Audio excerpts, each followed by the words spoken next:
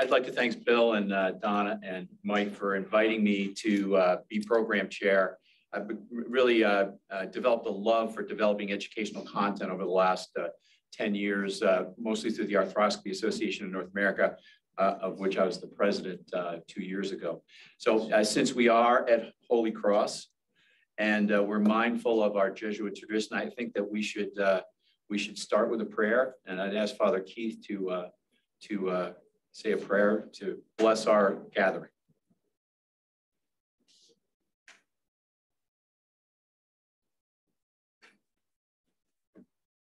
So as we begin, we want our hearts to be in the right space and place. So let's do so by turning with gratitude to our God.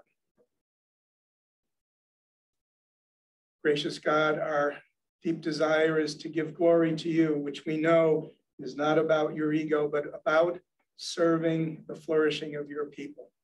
So may we be mindful of this day of your many blessings, be grateful for them, but also know you call us to steward those gifts in service to others, and especially to our students. Amen. Thank you, Father. Um, so uh, we have a really, I think, remarkable program uh, today, and it, highlights, I think, the unbelievable talent that is harnessed uh, here at Holy Cross in regards to medicine. I mean, I, I, really can't believe that there hasn't been an organization like this before, and I'm so happy uh, to be involved in it now at its inception. So um, uh, we're going to have uh, four speakers. I'd like them to be about 20 minutes. We'll take five minutes of questions after each uh, try to stay on time so we can get to the tailgate because uh, we're going to go beat the pants off the Crimson after this. Um, first, uh, uh we have uh, uh, Dr. Marcus Stoddard.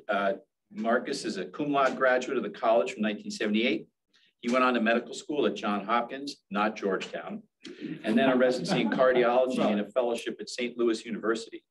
Uh, he's been part of the faculty of the University of St. Louis since 1988 and is currently a professor of medicine in the department. He's been the clinical chief of cardiology. Uh, he's currently the chief Veteran Affairs Medical Society of Louisville, as well as the cardiology fellowship director. So a real educator.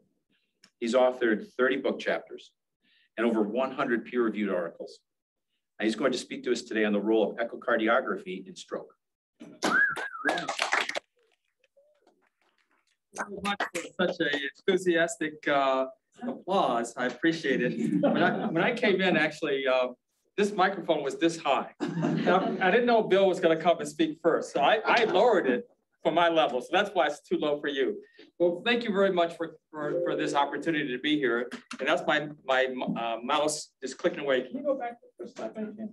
All right. So my topic that I chose related to what I, one of my passions, and that is uh, echocardiography and transesophageal echocardiography in particular, because of its is a multifaceted technique. And one of the major impacts, I think, is in our patients who come in with strokes, particularly ischemic stroke. We have a um, stroke center, and they just work us to death, but it's good. I've learned so much now, and I think I'm getting a great deal more insights as to the various different things that this technique called transesophageal echo helps us in our stroke population. And I wanted to share some of my thoughts about it. Let me see if I get my mouse up to work. Let's see, it's over. It went left one time, went right. Is this uh, still in there, USB? Okay. Uh, yes. You can come up here and help. okay, no problem. Also use this. No, it won't. I'll, I'll have some slides that will oh, hang up if I do that. Gotcha. I can advance Yeah, okay, let's try it. Let's try you advancing and we'll get to the slides that won't advance and then we'll have a discussion. Okay, okay, so uh, no disclosures. Okay, so ischemic stroke is really what transesophageal echo has as a very important impact in, in terms of diagnostic techniques.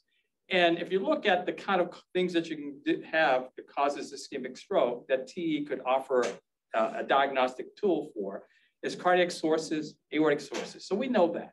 Also cryptogenic stroke, where after an exhaustive workup, really nothing is found.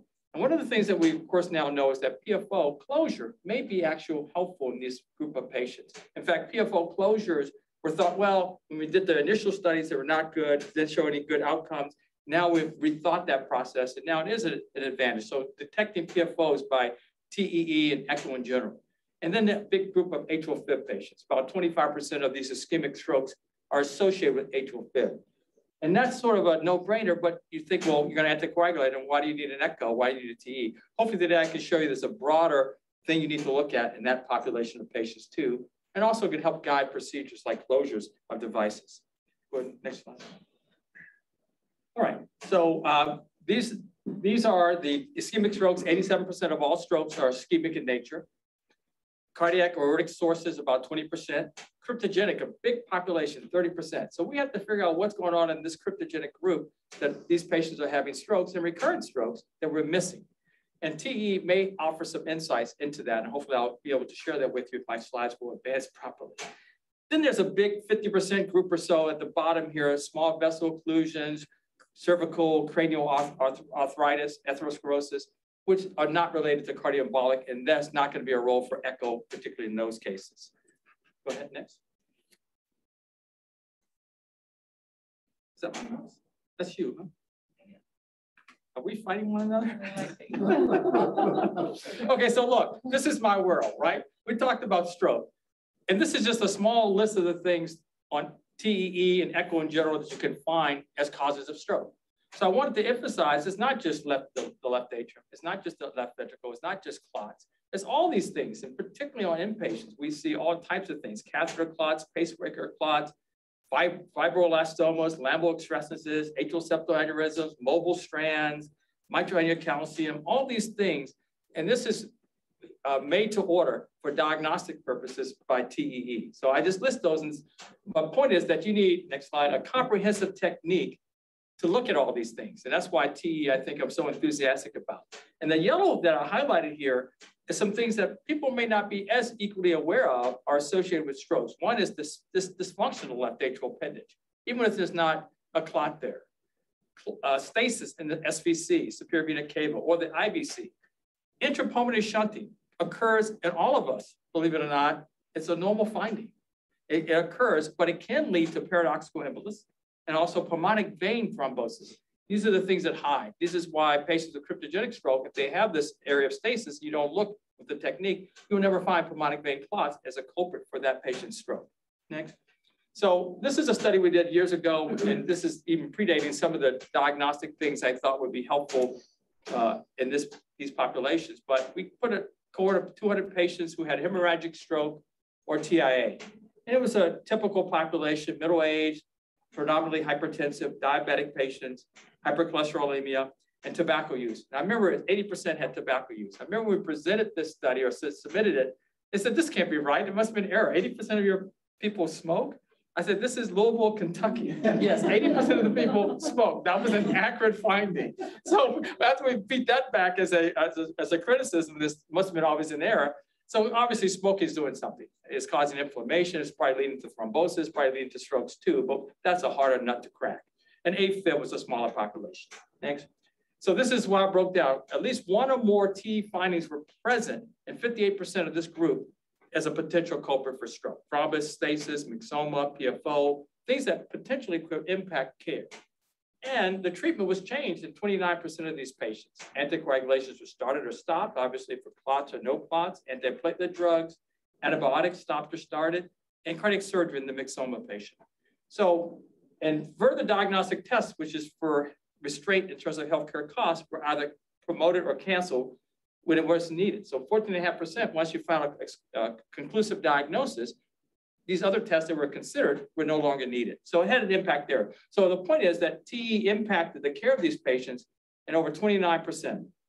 And none of these patients who had vegetations were not originally thought to have endocarditis, and that's what they had. So they had earlier treatment started in that group. Next.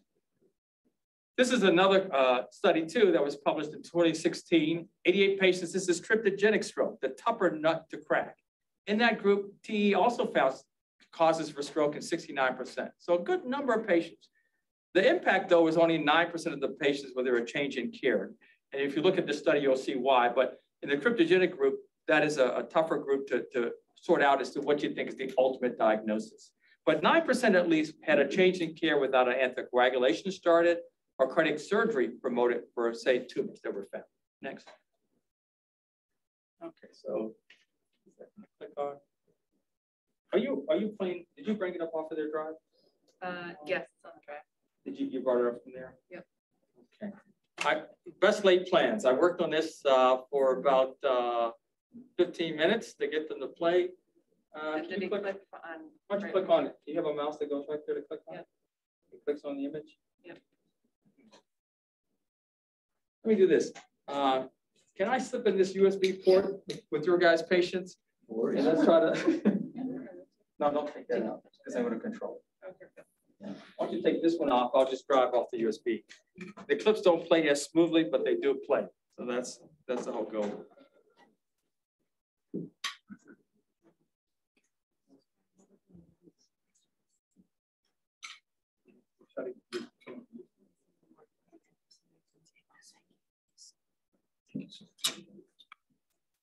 I have these problems all the time.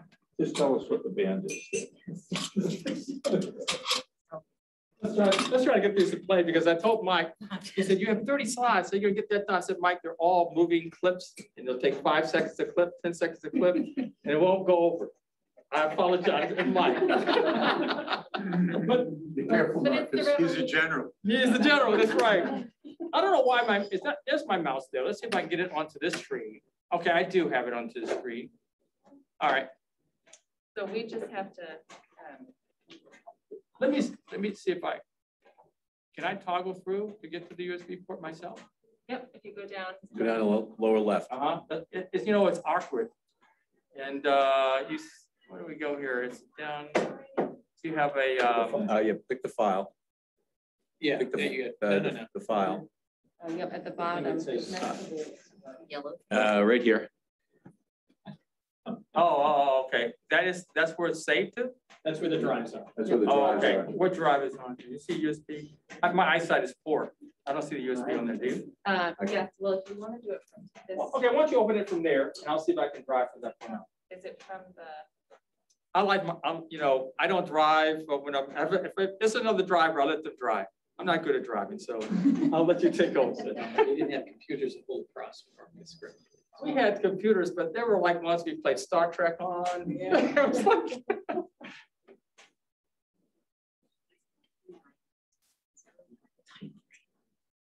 Yeah, the typewriter. Yeah. Is that from the USB drive? yes. Okay. Let, let me just click through here. Let's see. You might be able to click, if you click through on the lower, uh, uh, there you go, right. All right. All right, we'll see if it runs though. That's the next step. All right, Go. runs and plays. All right. So this is a huge thrombus in the left atrial appendage, ready to make its way out for a cardiac embolism. So these are sort of things on transesophageal echo we see commonly. And um, it may make an impact. If you ever had a patient high risk for bleeding, has blood score this high, and you had something like this, you were reluctant to anticoagulate, well, you should not be any longer. This is a 15% or more chance for stroke per year. This is a 3D rendering of the left atrial appendage, and you can see the two clots here that are highly mobile. Another high risk for stroke in a, in a separate patient.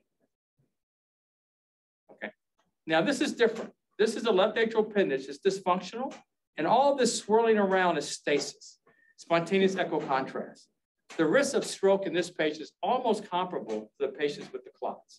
So just, and you're not gonna find this on any other imaging technique. It's gonna have to be TEE to find this.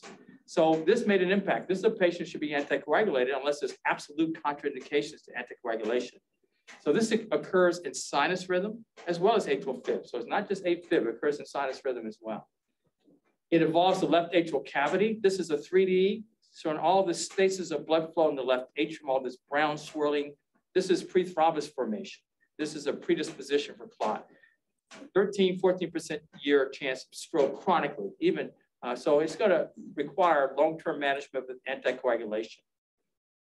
These sort of imaging techniques do impact our recommendations. This is uh, from the ASA AHA 2014. And these are now, these are clots in the aortic arch that are mobile. All the other is atherosclerotic plaque. Obviously, the plaque we know is associated with strokes, but associated with strokes often because they form clots on. And these sort of patients, in addition uh, to antiplatelet therapy and stat statin therapy, are candidates for anticoagulation. You can diagnose thrombus, mobile thrombus in particular. And the, the risk of this is higher than left atrial appendage clot leading to stroke. This is probably twenty percent or higher. So this is a super high risk for subsequent embolic events. 3D echo, this is of a transthoracic study. This is a large thrombus at the apex. Again, another patient where LV clot is obviously going to be something that needs to be dealt with. So imaging then will make an impact in that sort of patient. Look at this finding. This is uh, PFO. This is the right atrium, left atrium.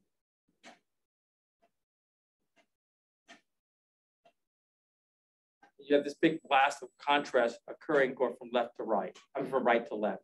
And these are the sort of patients that we're doing percutaneous closures of. Here's why the problem occurs. You have a thrombus that traverses the PFO, goes from the right atrium into the left atrium, leads to paradoxical embolization. You can see that this came from a leg vein. You can see the linear nature of this clot. It came from a leg vein.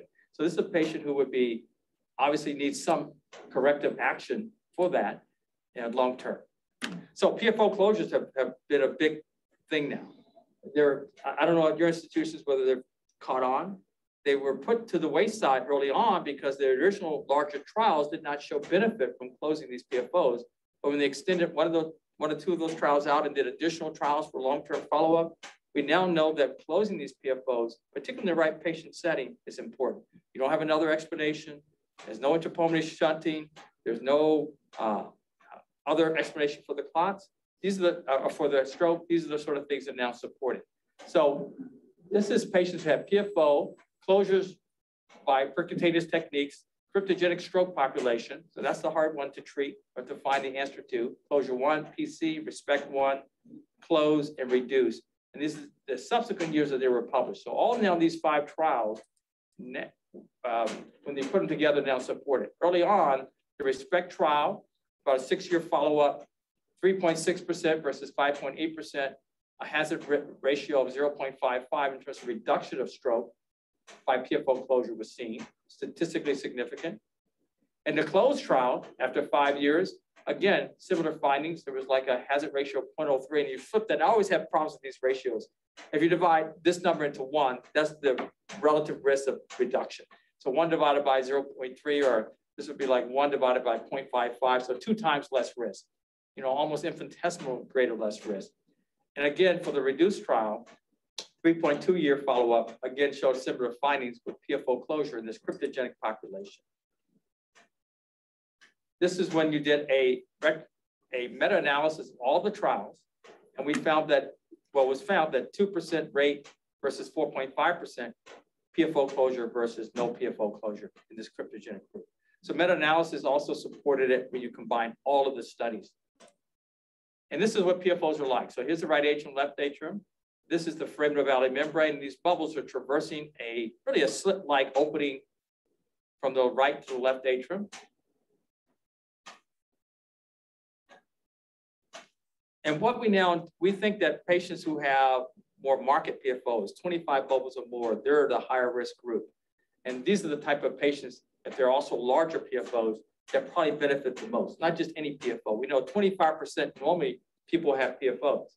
But if you look at the ones who have stroke and the ones that we think are related to PFOs, their PFOs tend to be larger, they tend to shunt more. And also it couples with sleep apnea. If you ever see patients who are doing TEs, as soon as they have struck, all this shunting occurs. It enhances it. So that's maybe the coupling mechanism between sleep apnea and stroke. These patients who open up PFOs and have strokes related to it, paradoxical emboli. All right, this is a splattering of a lot of things on one slide. This is an Amplatzer closure, what it looks like. You actually have a closure device on one side of the septum the other umbrella type closure on the other, and they squeeze these together to close off that channel. This is a 3D rendering of it, what it looks like. And just because I just think it's pretty neat looking at it from on, on top of it, looking down, this is one of the closure portions of it. And this is the recommendations as to what to do with patients with PFO, whether they need to be closed or not. That was in 2014. I don't know if it's been updated yet, but I think it needs an update. And the recommendations were if you have recurrent DVTs, you do PFO closure if you have a PFO. In other words, they wanted the admonition of a DVT. And that was 2014. So the earlier trials didn't support just closing it up front. Now with the 2017 trials, we're now closing these. We're not looking for DVTs in particular because they're hard to find anyway. They're going to be evanescent. They're going to come and go, and you may miss it. So now they're being closed. So this guideline will subsequently, I'm sure, be updated. You'll be seeing, if you're not already, your patients undergoing PFO closures. This was one of my hang-up slides. I have to prepare for it. Now look at this. This is a patient who does not have a PFO. It's an intrapulmonary shunt. So if you look at the original bubbles that come across, lost my mouse, but that's okay. Look at the bubbles that come across. They enter the right atrium, and then they gush into the left atrium up here. But they're coming from this vein. You can see the bubbles right there.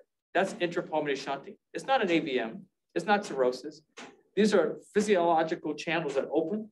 They can open with exercise and different type of O2 settings. They open up in all of us, which is which is kind of interesting why we would have them to begin with. But it's a portal potentially for paradoxical emboli, where clots that formed in the right heart or veins could have made their way through a PFO. So that's a, uh, not PFO, but intrapulmonary shunt. So that's why I always think it's critical that if you're going to close a PFO, you need to make sure this is not present either, because that, that portal is still there and you're not treating it. That patient may still require long-term anticoagulation because that's an existing route for strokes to occur. And this works with sleep apnea patients as well. It does. It happens with sleep apnea patients as well. And it's kind of shocking, actually, that it, that it occurs. And um, look at the frequency of it. This is, a, this is the breakdown in the study we looked at for all strokes and TAs versus controls.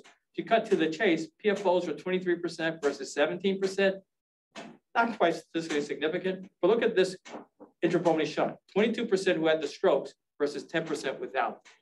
Whether these patients are predisposed long-term, no long-term follow-up studies, but it was you know twice as often. So it was definitely an association when we looked at the intrapulmonary shunting.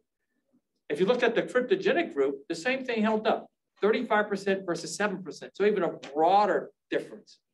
So this is something that's untapped as to maybe these patients are predisposed for paradoxical embolization, the ones that have significant intrapulmonary shunts that is technically physiologic. The odds were six times more likely to have um, in, in the stroke group this phenomenon, intrapulmonary shunting versus not. So I think that's intriguing. Okay, outside the left atrium, outside the box, this is the inferior vena cava. These are bubbles, saline contrast bubbles. You see these little brown dots. They hang around forever in some patients. This is areas of stasis. The inferior vena cava is an area of stasis. The superior vena cava likewise is an area of stasis. When I say stasis, natural. It's not something that, that's abnormal. Blood flow just hangs around it.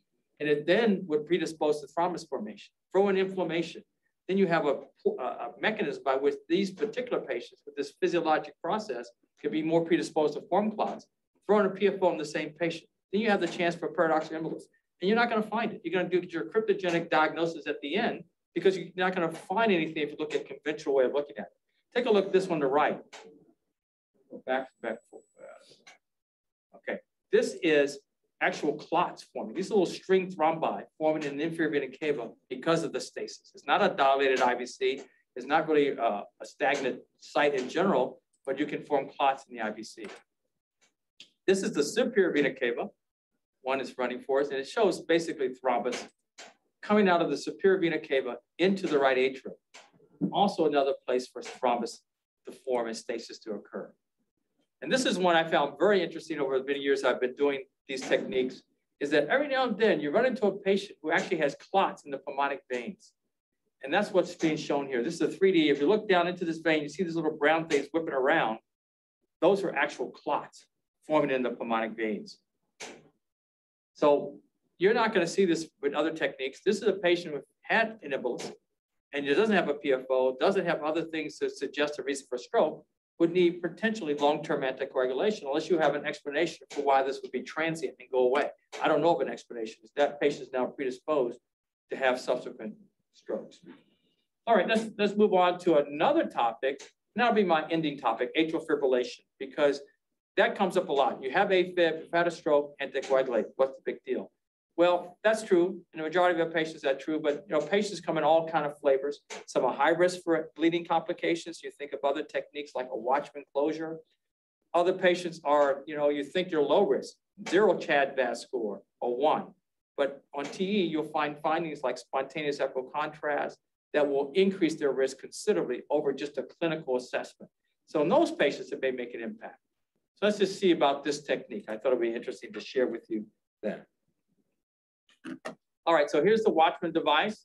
It's on a steerable guide that this little umbrella shaped is put in the left atrial appendage. This is the left atrial appendage from above on a 3D.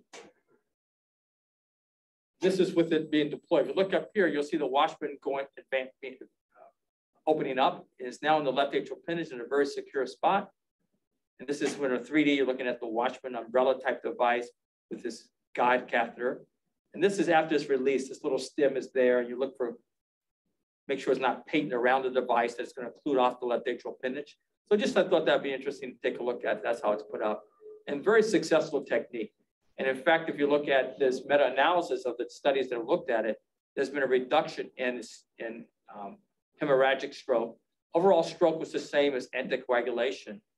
And this is the meta-analysis that was released in 2015 by Holmes.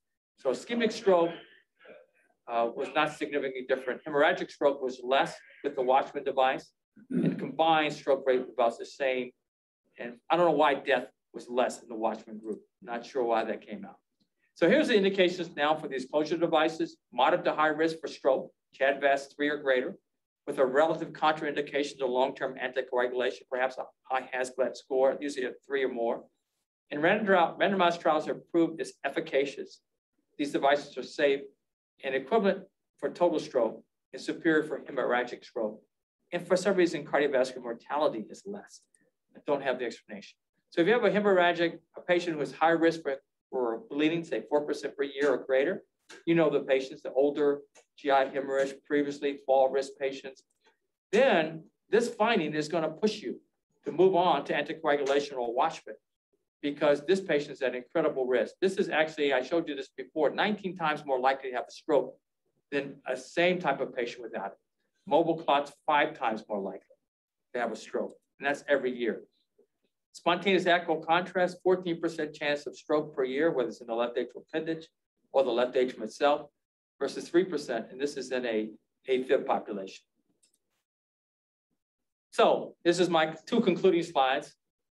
Uh, in terms of do patients with AFib, for example, require cardiac imaging? I think practically all at least need transthoracic. T in most of these patients.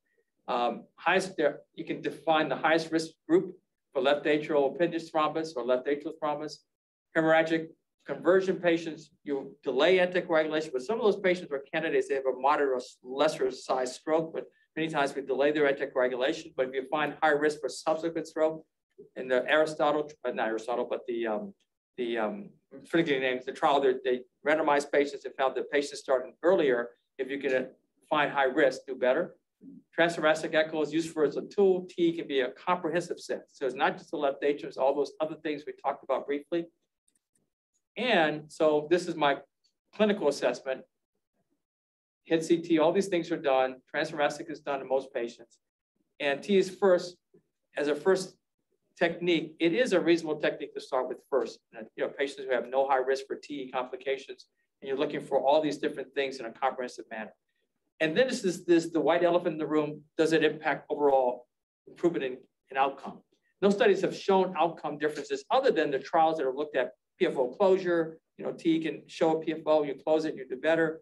Uh, clots, obviously anticoagulated or not, you do better. So in that sense, there is that kind of data, but not just seeing if T in itself results in better outcome. And I always put this slide up because I read into it about 15 years ago. Love it. And here it comes again. Any questions?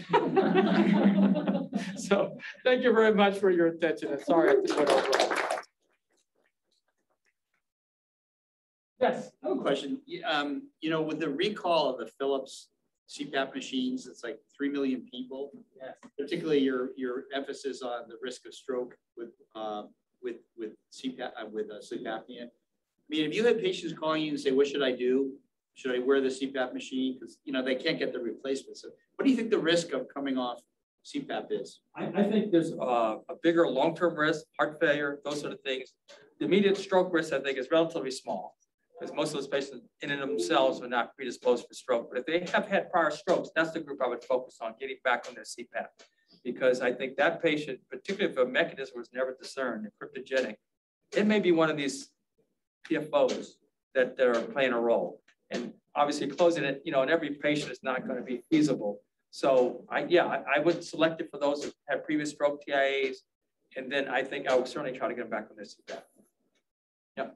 For morbidly obese patients with, uh, with sleep apnea, by the way, which in West Virginia, we have a lot of those. We do it in Louisville as well. The TTEs are not as diagnostic as the TE. So do you normally just recommend a TE when you have those Um, patients? I stay out of it, but they recommend it for us. They come for TEs almost always first.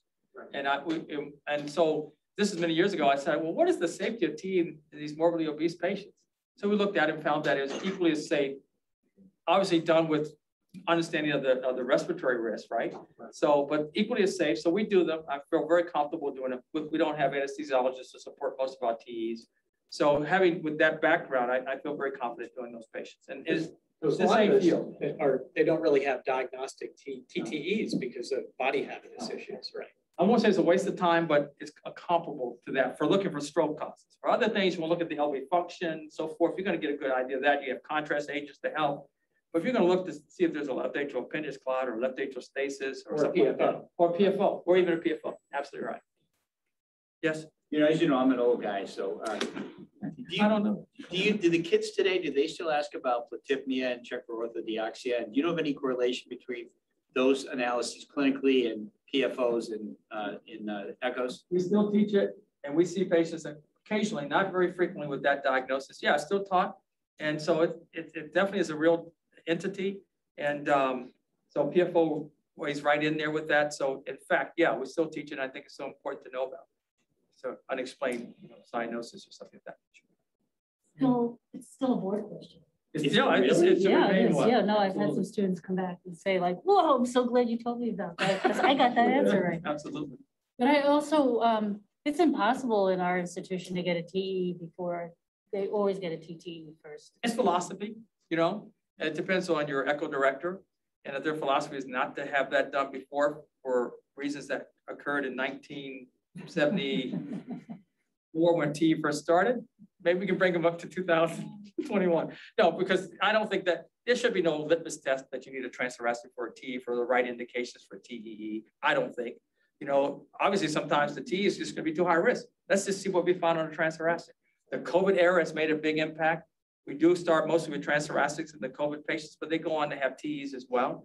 Um, because there's a risk to the staff, right, from, from COVID itself. So outside of that, we do do TEs up front and many of these indications.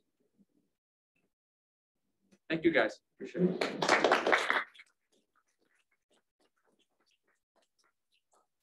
Thanks, Marcus. That was great. Uh, Now on from the uh, squishy organs to the uh, more solid ones. Uh, So I, I was, I'm a sports medicine doc by training, uh, but I became very interested in the practice management side of things and healthcare delivery uh, as I moved through my practice and uh, studied the orthopedic workforce, ways to deploy it, and how we could deliver healthcare uh, at a lower price point in a more efficient manner. And I'm currently working with an organization that uh, is doing that. And uh, some of the data that uh, I'm going to report today is from that. Um, Again, next slide. So I couldn't go without uh, showing this. This is uh, the 1980 Holy Cross rugby team. Uh, We weren't big, but we were slow. And somehow we still managed to uh, win the New England Championship 1980. Now, most of us uh, stayed out of jail uh, fairly long, but not so well for others. And why is uh, this uh, slide germane? Well, because uh, some of these guys have actually already had their knees replaced because of traumatic, uh, uh, post-traumatic osteoarthritis. So, uh, you know, uh, next slide. Um, you know, uh, Douglas MacArthur called war the malignant scourge. Well, certainly osteoarthritis is a malignant scourge. And unfortunately, many of us in the, in the room are learning about it as we age, as the baby boomers go through. And so there's uh, 27 million people right now. Now, I've heard as high as 48, all in, all, all in. There's 27 million just with knee osteoarthritis, 48 million with osteoarthritis per se.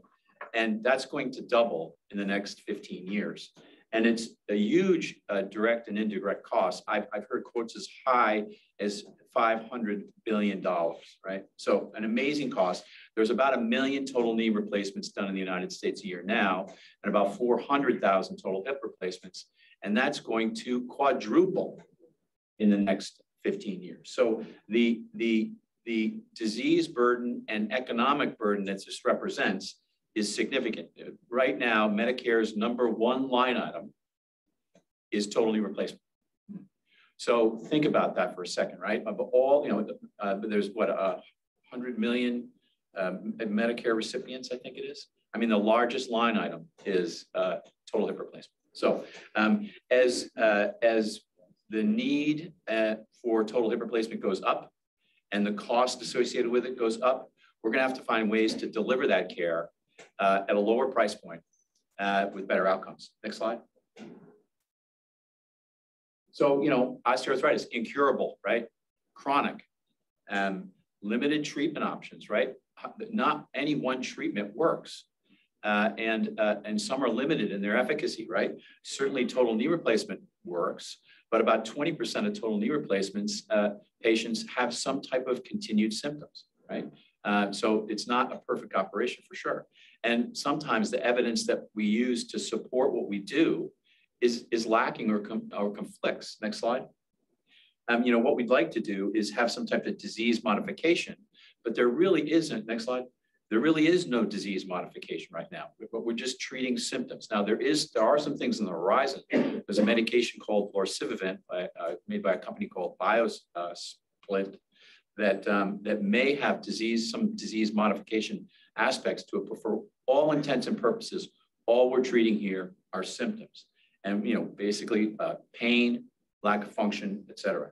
And you know we have uh, pharmacological ways of doing that. We have injections that we can use, either uh, steroids, PRP, uh, uh, long-acting steroids, or uh, even the hyaluronic acid.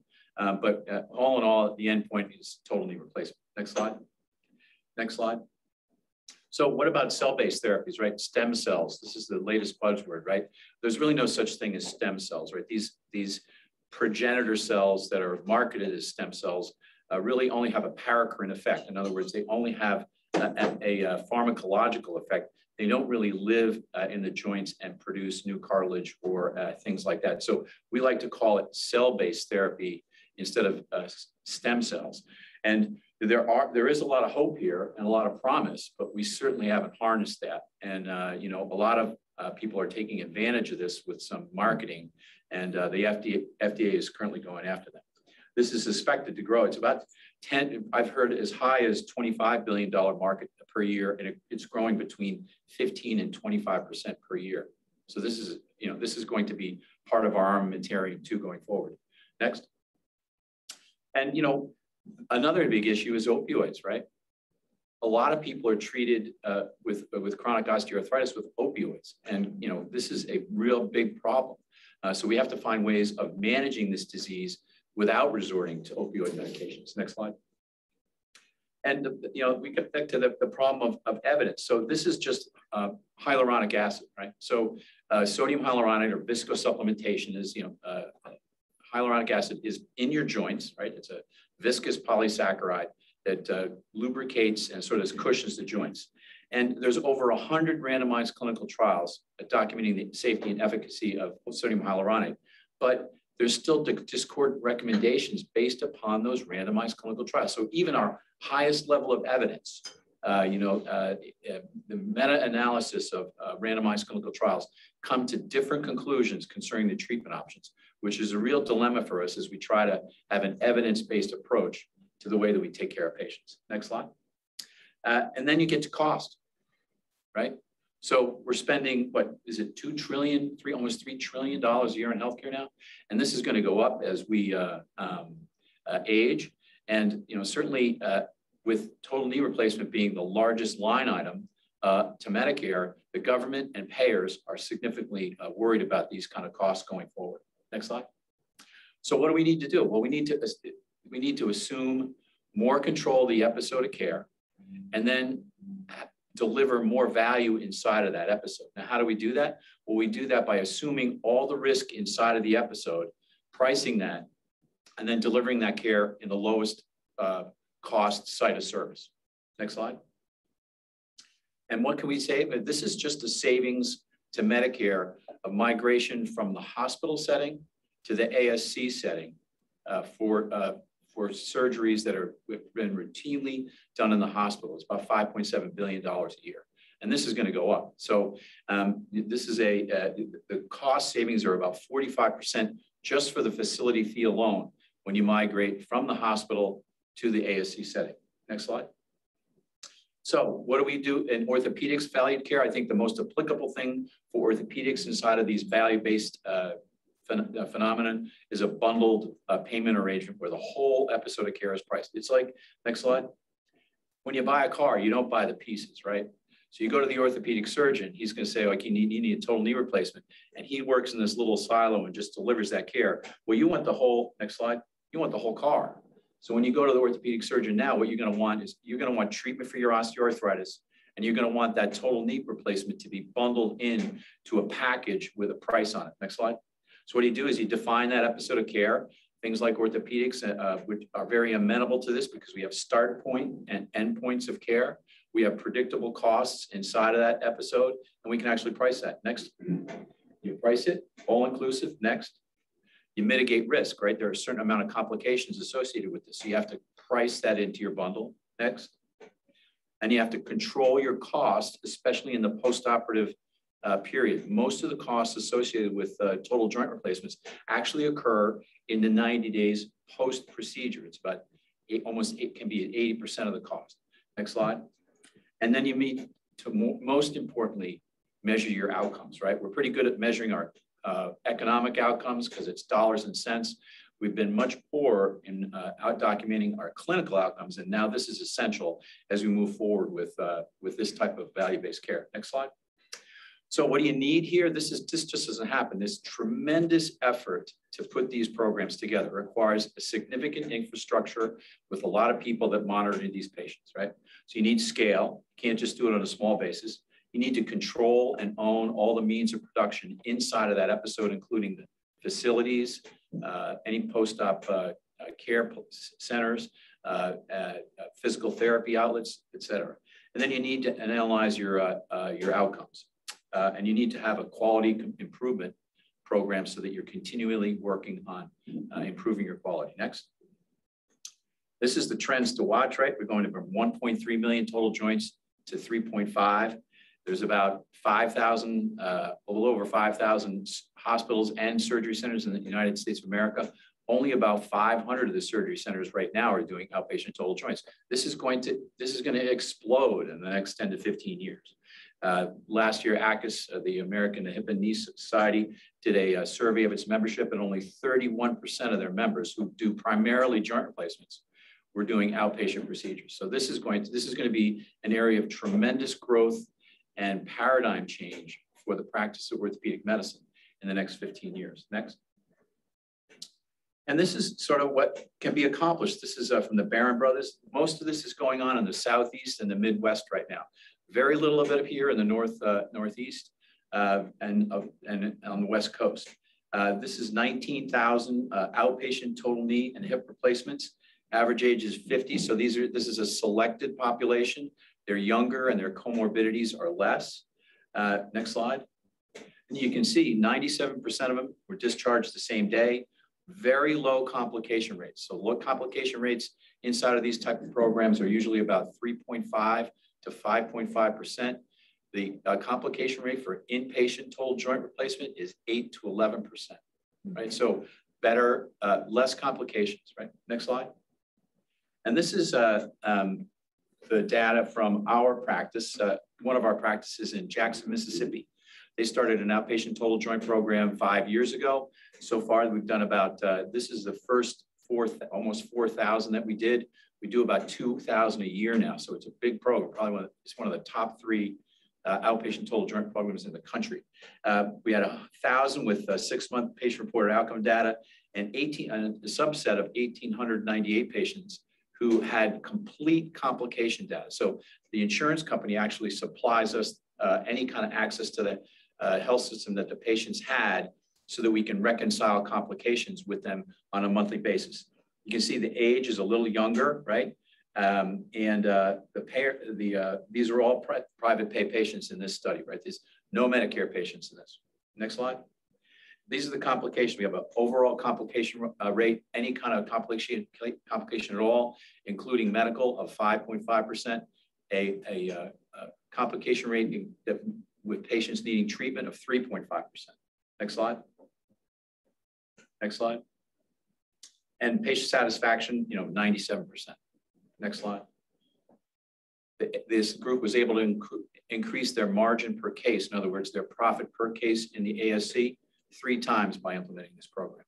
And they saved Blue Cross Blue Shield $30 million a year in Is it Mississippi. the doctor or the entire bundle? I'm sorry, Is that just the doctor that's, this is just the margin per case. or for everything? Correct, correct, in their surgery center. So their margin, their, their profit margin per case went from nine hundred dollars to twenty-seven hundred dollars by implementing this program. Next, uh, next slide. And these are the outcomes. Uh, these are the KOOS scores or knee osteoarthritis scale uh, scores. Uh, the uh, patients reach a substantial clinical benefit by three months. Uh, this is the 36, uh, the 40, 3,600 patients. Next slide. Similarly with unicompartmental knee replacement.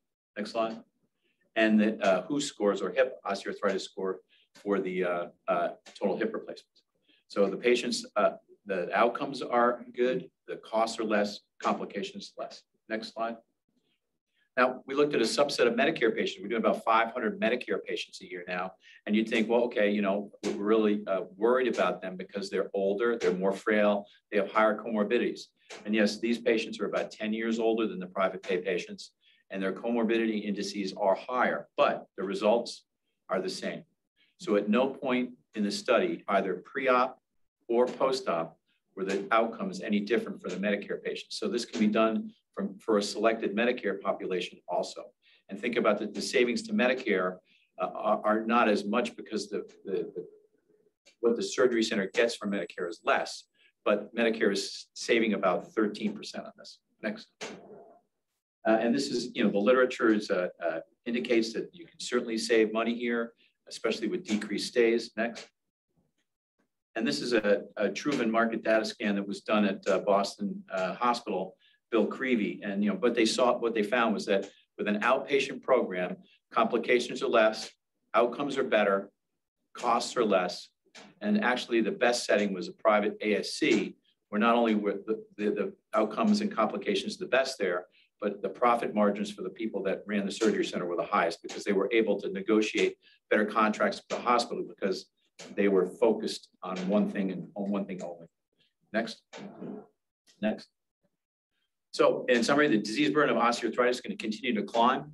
Uh, to satisfy uh, the demands for this, we're going to need to change the way we do this and change the site of service.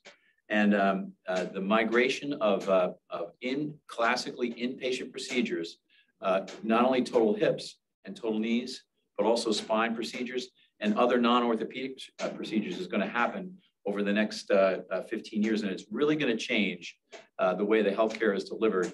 And uh, when, when we unfortunately have our total joints, most likely it's going to be outpatient in some type of freestanding center. And next slide.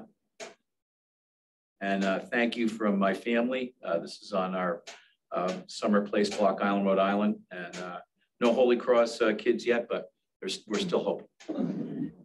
Thank you very much.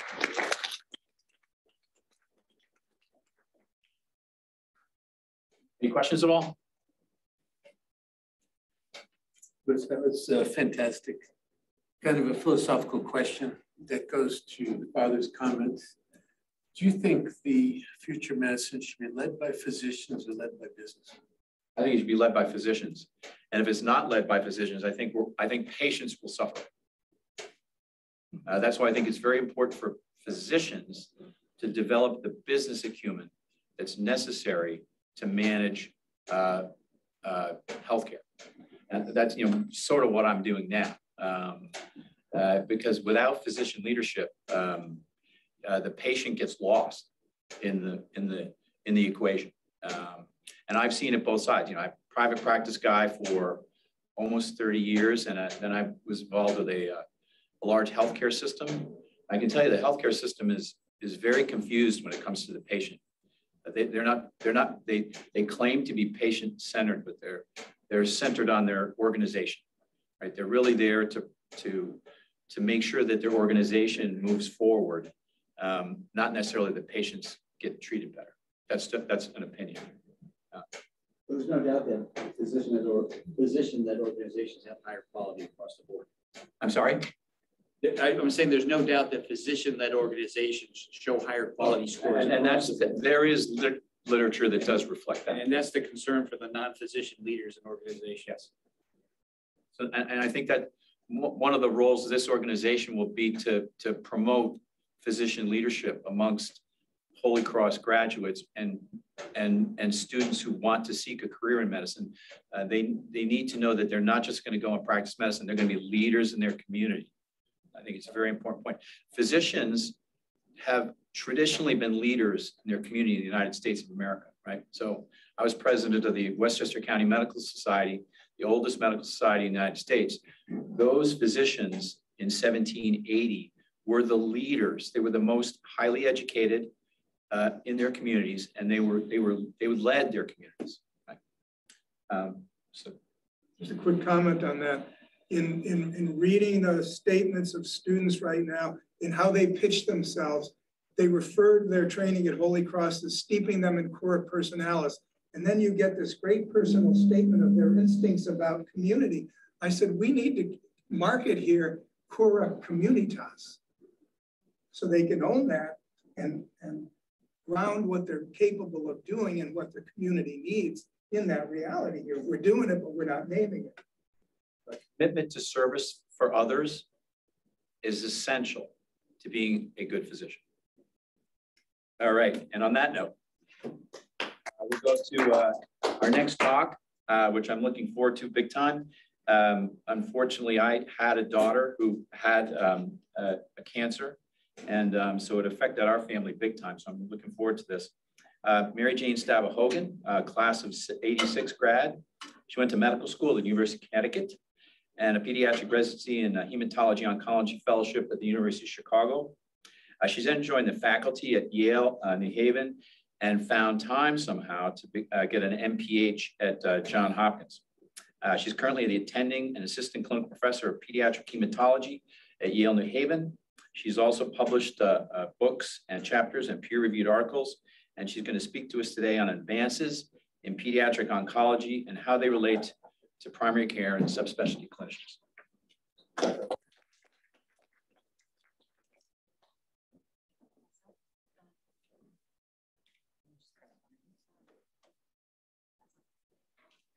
Yeah, thanks for having me. And I hope to sort of give a broad overview uh, for people who have experienced cancer in their lives or have taken care of people with cancer. They have no conflicts of interest and nothing to disclose.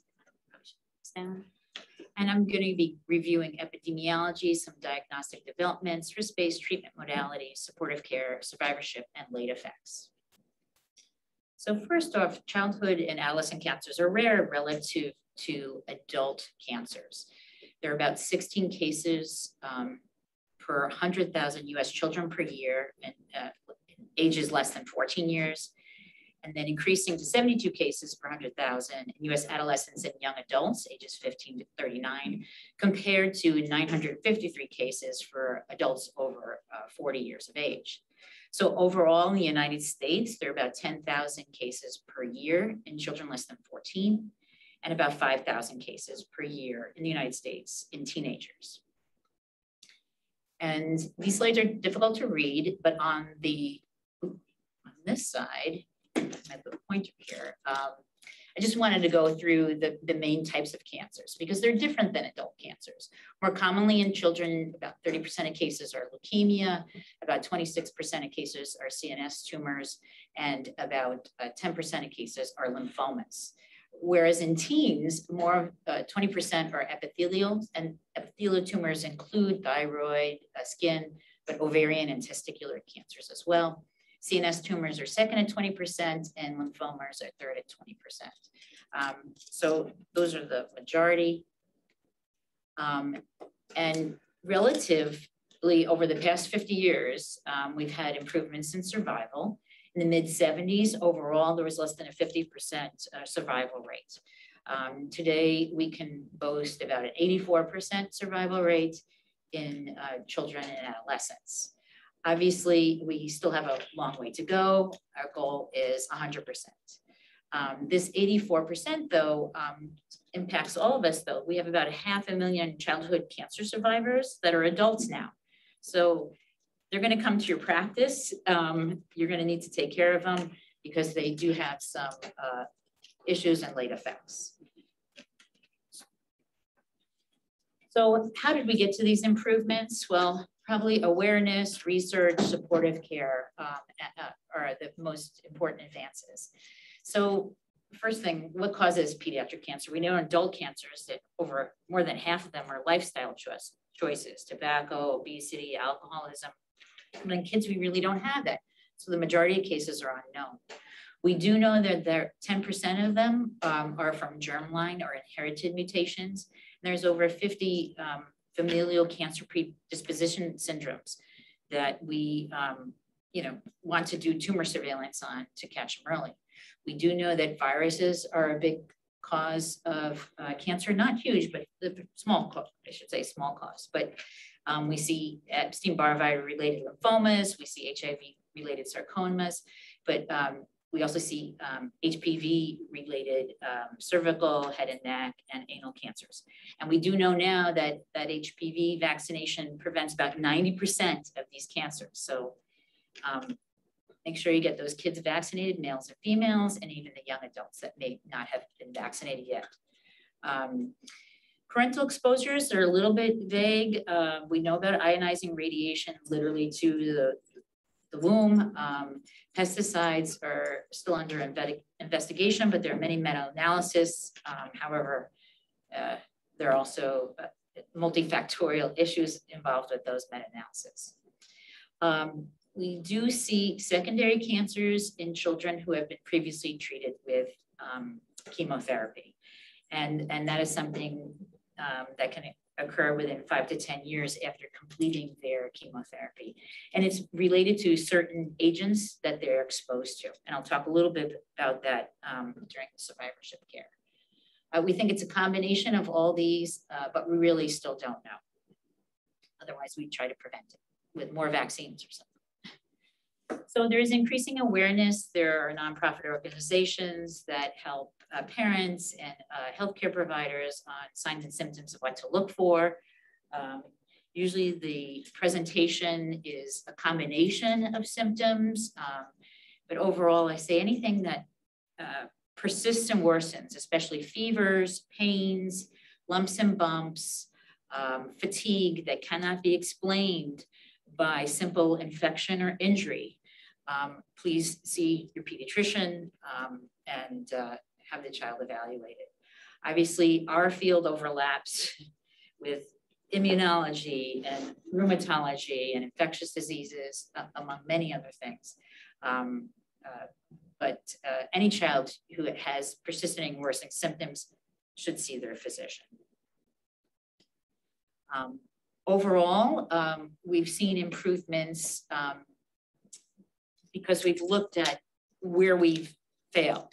And in general, um, we've had a really hard time treating teenagers. And uh, as you can see, as the darker bar here is 1999 and 2014, we've been able to improve, obviously, um, or decrease uh, mortality rates in every age group, including teens, but teens still having some of the higher uh, death rates. And uh, looking back on it, um, people were noticing that we weren't placing kids into clinical trials. These teens were being shuttled between sometimes the pediatric care centers, pediatric cancer centers, and sometimes adult centers. A lot of adult centers are private practices, and they might not um, have access to uh, clinical trials or standard of care. We do know that in pediatrics that um, there is a higher survival rate when we get the kids enrolled into clinical trials. Um, these are phase three. They involve standard of care and then what's new um, added on or subtracted to reduce toxicity. And they're followed very carefully. We, in terms of using a lot of other supportive care, we have um, a whole group of administrators helping us um, like check every box off. What side effect have they had? They have all their labs drawn, et cetera, et cetera. So these um, treatment protocols are very detailed right now. And we find way better attention to care. It's like the checklist. Everybody heard about the quality improvement checklist. It's like a bundle. You got a bundle, here we go. And we find better outcomes. And we're getting teens more into clinical trials um, over time, as, as this study showed, um, because we're, uh, one, opening up the trials to um, older ages. We now see kids less than 25 years of age who have uh, pediatric type cancers. We know that young adults less than 40 years of age who have a type of leukemia that kids typically have, or a type of sarcoma that kids have, or a lymphoma, that if they're um, they follow, if we follow them on our pediatric clinical trials, they have a higher survival rate than they would on the adult trials. Our trials are very aggressive, they're very intensive therapies, and believe it or not, a lot of young adults can handle that and uh, respond better. Um, we also, conversely, just to let you know, some of our kids, obviously, who have more adult type tumors respond better on the adult trials. So um, we've had a better communication with our um, adult oncologists, um, as well as broadening our reach with pediatric oncologists. I participate in Children's Oncology Group, which is, involves about 200 different institutions in the United States. And um, we are definitely broadening out the age ranges so that we can capture more people um, and uh, improve survival. We're also realizing uh, that there are disparities um, in outcomes by race and ethnicity. And uh, down here are the different types of tumors, and um, here are survival rates. And all these different colored groups are different um, races and ethnicities. And uh, you can see there's just inequality all around, no matter what the, the tumor type. And um, we're now looking into that in all of our protocols. Um, uh, and a lot of our younger um, trainees are looking into that more. So I don't have a slide on why that, how that has improved yet or what uh, it is, the issues are, other than um, it's probably inclusivity or uh, lack of access to the clinical trials or other social determinants of health uh, that we need to address. So lots of research still go. But overall, we're improving diagnostics. You know, when I started out, uh, we kind of just had the tumor tissue and we look under the microscope and we get some special stains and we hope to figure out, oh, this is a type of non-Hodgkin's lymphoma. Maybe it's B, maybe it's T. We're not really sure. Oh, it looks like it's a combination. What do we do? So um, things advance with flow cytometry, looking at the molecular markers on the outside of the tumor cells. So that um, let us look at, you know, 10 to 100 fold more, more cells. And then the improvement in genetics have allowed us to look thousand to hundreds of thousand fold more cells to see exactly what type of lymphocyte we're dealing with and the uh, mutations, translocations, alterations that may be targetable, but also um, we can um, place a lot of our kids' tumors into risk categories and tailor the uh, chemotherapies uh, to reduce toxicities and those who have uh, better responses to increasing um, intensity of therapy for better responses.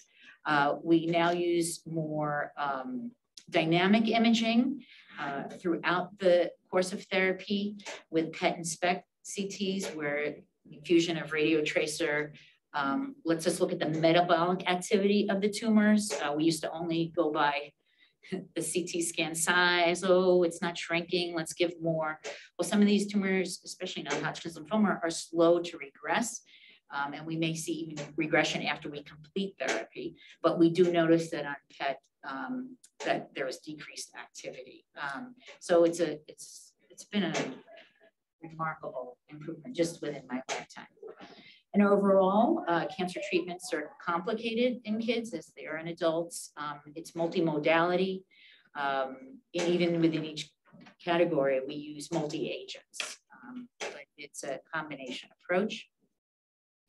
So in chemotherapy, um, we can now do genetic testing on kids to see if they have any metabolic indicators that would make them toxic to our therapy. So we had a, a lot of reduction in toxicity to uh, our uh, anti-metabolites and vincristine uh, by just doing genetic testing up front. So we can give enough dose to get rid of cancer but reduce um, problems.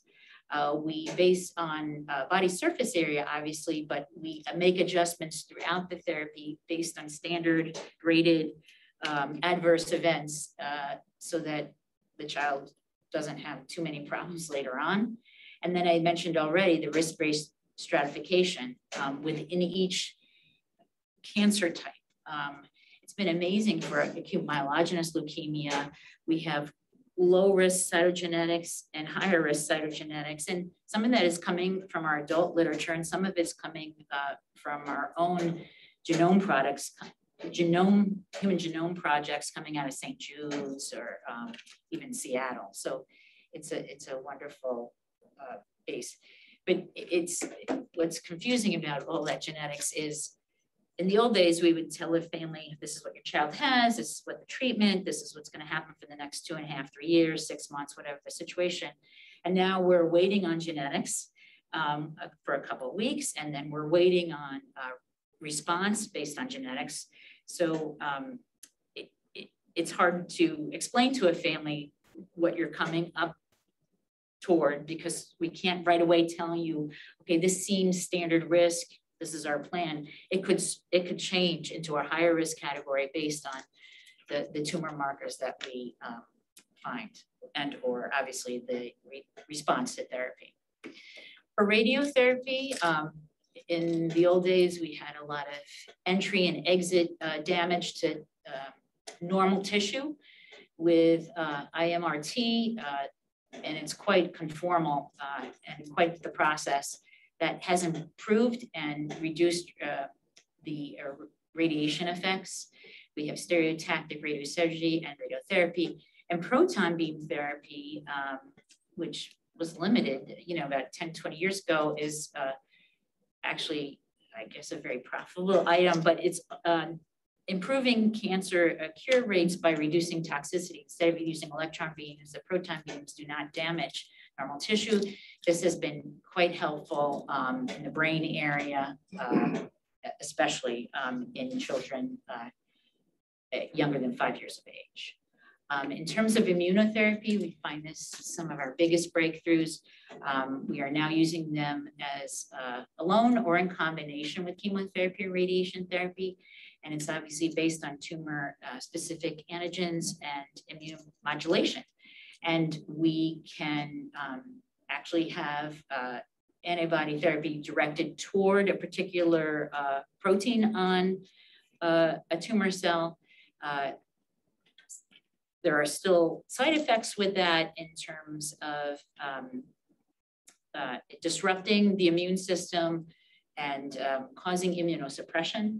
Um, we have oncolytic viral therapy um, that's a little bit uh, newer, um, but they are doing some injections even um, in brain tissue with that. And then checkpoint inhibition, we're stealing from the adults, um, where you turn off the tumor's ability to stop your immune system from recognizing it. And it allows your, your own T cells to recognize the tumor as, as foreign. Um, and we don't know all of all the late effects. We know the acute effects of all these, um, which are like uh, rheumatological manifestations, any type of inflammation that you can think of, as well as um, immunosuppression. Uh, but we think there may be some long-term effects in terms of increased risk of autoimmune disease. Uh, in terms of uh, stem cell transplant, um, our latest data is we've done about 4,000 allogeneic in children and teens and about 3,000 autologous stem cell. And these are the stem cells. These are real stem cells. They, they, when people talk about stem cell therapy, I'm like, we've been doing bone marrow transplants for a while. These are stem cells that um, will form your red blood cells, white blood cells, and platelets.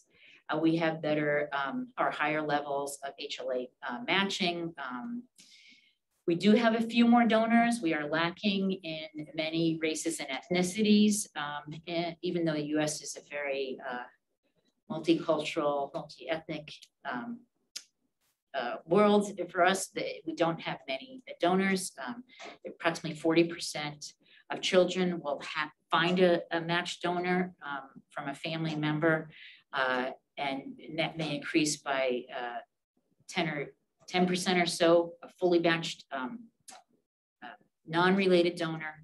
Uh, and then we uh, are improving our transplant um, options by allowing more haplo uh, identical donors um, using uh, lower intensity preparatory regimens um, if possible, and uh, also trying to prevent uh, graft versus host disease and improving supportive care. In fact, we have more protocols almost on supportive care uh, for our transplant um, individuals than we do for the actual regimen regimens vary throughout the country, um, and that hasn't been as standardized as our uh, chemotherapy protocols. So I think um, it would be great if that could be more standardized uh, so that we can move this field along as well. Targeted therapies uh, have been just a wonderful uh, godsend to us. Um, when they're in phase one trials, we use them alone. When we're in phase three trials, we use them in combination here are some of the um, mutation targets that we can uh, could, could have a, an appropriate drug therapy for.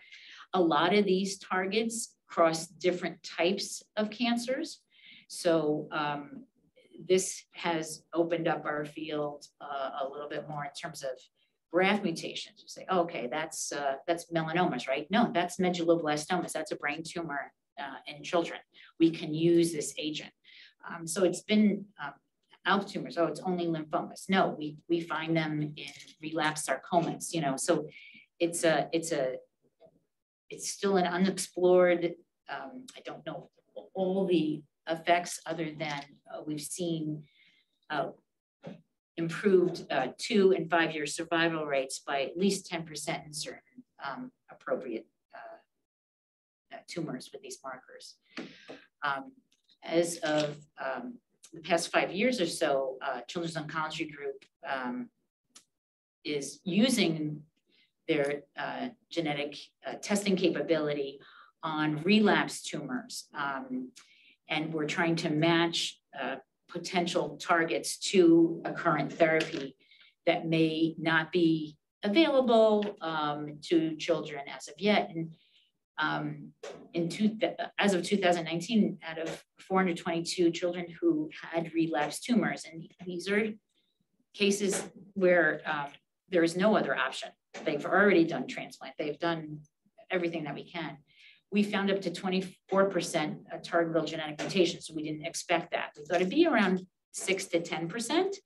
Um, and we're not sure if it's there's a bias in terms of the the kids coming um, from institutions that already checked their, these tumor tissues for these targets and then um, send the child in, or if the tumors themselves are mutating in such a way um, that uh, the, you know, the actual relapse tumor, the initial tumor didn't have this mutation, but the relapse tumor does. Um, and the outcomes of this are to be determined, but at least we're finding a target. Um, CAR T, you probably all heard about, has been uh, an amazing um, uh, invention for our particularly relapsed acute lymphoblastic leukemia, especially for kids who have already had a transplant. Um, and uh, it, it, involves literally taking T cells from somebody, engineering them to uh, target the, the uh, tumor, um, multiplying them and then infusing them back. So sort of like a stem cell transplant, but modifying. And uh, there are more centers doing this. Uh, Yale's starting it. We are a very small uh, program, but we're actually starting it because you really do the staff for the um, huge cytokine storm that um, occurs uh, during this process. Um, very high doses of uh, steroids um, and uh, blood pressure support, et- et cetera. Um, but it, it does knock out the uh, leukemia and um, in terms of the different types, I didn't put the uh, response rates here, but uh, for children who traditionally had a survival less than twenty percent, it, it has improved their rates of survival forty to fifty percent um, overall. Um, so this has been amazing. We're now bran- branching out. Uh, Texas is doing this for our um, relapsed uh, rhabdomyosarcomas, uh, especially if they have well, uh, some type of targetable lesion on their sarcoma, like a, a HER2 receptor or something like that. So we have our survivors. We have over half a million survivors. About 40% of them will go on to have one or more chronic issues afterwards. So we do um, want our pediatricians and adult colleagues to um, keep track of these kids for us. Uh, we have uh, childhood cancer survivorship clinics um, in most states now. We recommend at least a one-time visit um, because we're monitoring for these effects. We come up with a care plan, which I'll sh- show you in a minute, uh, for our uh, primary care doctors to follow and our subspecialists to, to help us with. So we see kids with osteonecrosis who need joint replacements and they're in their early 20s. We have kids who have strokes and heart attacks um, in their 20s as well because they receive chest radiation or anthracyclines. So we do rely on everybody. So uh, big component of a side effect are growth and development, especially with the radiation to the brain, but also our intrathecal chemotherapies, our regular organ toxicities. And these late effects may not manifest during the treatment. We obviously do have many acute side effects and we need many different supportive cares uh, and, and help with that. But these may manifest after treatment is over. Um, fertility and preservation, I'm gonna, and reproduction, I'm gonna tell you a little bit about that. Um, uh, psychosocial is a huge component that's often overlooked. Uh, uh, ch- childhood cancer survivors typically do not achieve as higher rate of uh, higher levels of education. They do have more unemployment, uh, do have difficulty getting health insurance, um, and can suffer from PTSD or anxiety. Um, and so we want uh, people to be more aware of that, saying, no, that's not you. We can get you help for that. Um, you're, you're still recovering from your uh, childhood or adolescent cancer. And secondary cancers, as I've mentioned, um, uh, are a, a, a small percentage. It, it- it's anywhere from two to 5% depending on the um, types of therapy received. But um, it can increase to over 40% um, or 40 fold increase uh, as you age. So over 40 years of age, you'll have an increased risk of cancer more than the general uh, population. So in terms of preventing second cancers, we want uh, lifestyle choices to be made as well. So um, how do we prevent some of these problems? Well, um, we have our uh, oncofertility team helping us before we even start treatment. Once the children are diagnosed, we uh, get them uh, to uh, visit our oncofertility clinic if it's a therapy that we think will affect their um, fertility. And as you know, we do uh, sperm donation and um, for the uh, oocyte stimulation, we give uh, uh, uh, hormones uh, to stimulate that so we can collect that. But um, the later, the newer therapies are to actually freeze um, ovarian or testicular tissue. Um, and we're not sure of the outcomes of those just yet. Um, but uh, families are willing to uh, do that. Now, the children don't understand what's going on. Um, I had a 14 year old who gave me a sample of urine in a cup. Um, so it's, it's a, it's a very difficult thing to achieve um, when you've just been told you have cancer or your parents have just been told that you have cancer, your child has cancer and uh, this is the furthest thing from their mind um, most of the time. But we're trying. And um, we have a whole committee on childhood cancer survivorship and guidelines that are updated every three to four, five years. Um, and uh, based on the treatment that was received. Uh, we tell physicians um, what to expect in terms of long-term toxicity and how to monitor for it. And um, how would a, an adult internist know what, you know, their 30-year-old received when they were five years of age? Well, that's why we want them to come to our childhood cancer survivorship clinic. We see people as old as 65 um, and we find their records and we make a comprehensive letter for them and um, sort of summarize this 300 page or more document of what their risks would be and what type of screening they would need in terms of heart ultrasounds or if they had uh, osteopenia uh, or a porosis, what they would need to, to do to um, prevent further damage. So um, it's been uh, very helpful. Um, also in terms of screening for secondary cancers. So when a 20 year old who survived Hodgkin says they have chest pain, comes to your emergency room, you wanna treat them as a heart attack a victim and, and put them on the, you know, get, get your levels, get your cardiotropin levels and, um, and your imaging as necessary. So how can we help? Well, prevention is great. Um, if you find a child with a cancer predisposition syndrome or a family with one, um, uh, we would love to do the tumor surveillance on the children. Um, we pr promote nutrition, exercise, um, avoiding smoking, vaping. Well, I don't know what's in vaping. We don't know what's going on with that. And sun protection on all our kids. We would love uh, adult physicians, pediatric physicians, if they come across any children, adolescents, or young adults who may have a pediatric type cancer to consider uh, a children's hospital that takes care of uh, cancer um, or that's one that's affiliated with an adult center so that we can get them the, the best possible uh, care available and access to some of the newer agents. Um, we always need to limit barriers to health access. Um, so, uh, you know, insurance, we have social workers to help us, uh, any way that you can help would be great. Um, we love to talk about clinical trials. Uh, people hear that and they're like, I don't want to be the guinea pig, but literally our trials are standard of care and standard of care plus something or slightly removing something based on their risks. We would never put a child at risk or put them in as a, complete experiment.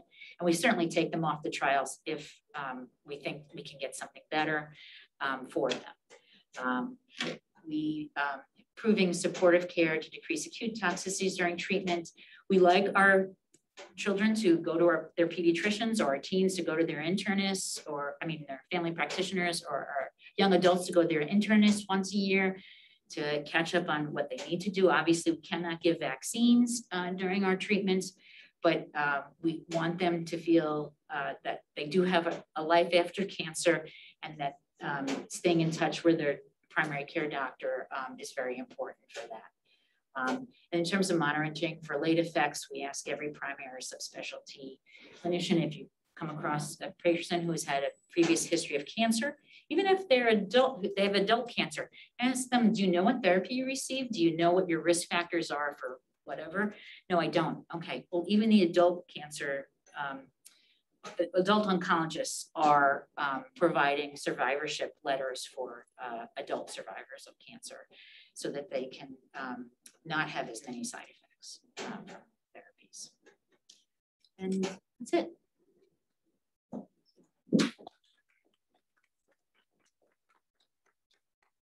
Is uh, cardiotoxicity different in your adolescents or children groups than say adults that have uh, chemotherapy with cardiotoxic agents? Is the incidence the same or is it different? It's a little bit lower. Uh, we used to have maximum doses of our anthracyclines up to 400 to 450 milligrams per meter squared um, total dose. And now we've cut that back to 200 to 250. So um, you might see some adult survivors of childhood cancer from 20, 30 years ago who did receive that higher doses of anthracycline. Um, uh, children's hearts seem to be uh, more uh, resilient and they can handle higher doses. Um, uh, but we are cutting back because we, we just know from the other. So we see a little bit less than the adult do. Um, we're also um, doing a little less uh, chest radiation than we've done in the past. We used to treat um, a certain type of Hodgkin's, sometimes just with chest radiation. And now we can actually treat it with chemo um, and avoid radiation um, in certain groups. Um, but we don't um, do, we do TTEs. We only send them for left ventricular, left ventricular ejection fraction and shortening fractions. But you've got me thinking PFOs and intrapulmonary shunting, and I'm like, oh, I think we're missing something here. Um, but uh, we do talk about lifestyles and, and telling them to try to decrease those risks of heart disease. I collected a lot of umbilical cord blood samples in the hopes that those would be harvested as some form of stem cells. Are, are they using those? Yes, for sure. I'm sorry, I didn't mention that. It just seemed like such a big, such a big topic. Yeah. So we're- Yeah. sorry. We love umbilical cord Okay. and we can do double umbilicals on bigger kids. So it's usually a volume issue of the amount of stem cells, right? But we can actually do two different umbilical cords if they're closely matched. What's great about umbilical cords, even though they take a little, little longer to engraft, um, they are less, um, there's less acute graft versus host and chronic graft, graft versus host because these are really prime, you know, stem cells, um, which is lovely, uh, not exposed to any, you know, um, any, well, mom had chemicals too, but not as many as somebody who's been around for 10 years, here my stem cells, you know, or 50 years, whatever. So the, um, I don't know the exact number to date of umbilical. It's still a little bit lower than um, bone marrow. So we still collect bone marrow the old fashioned way.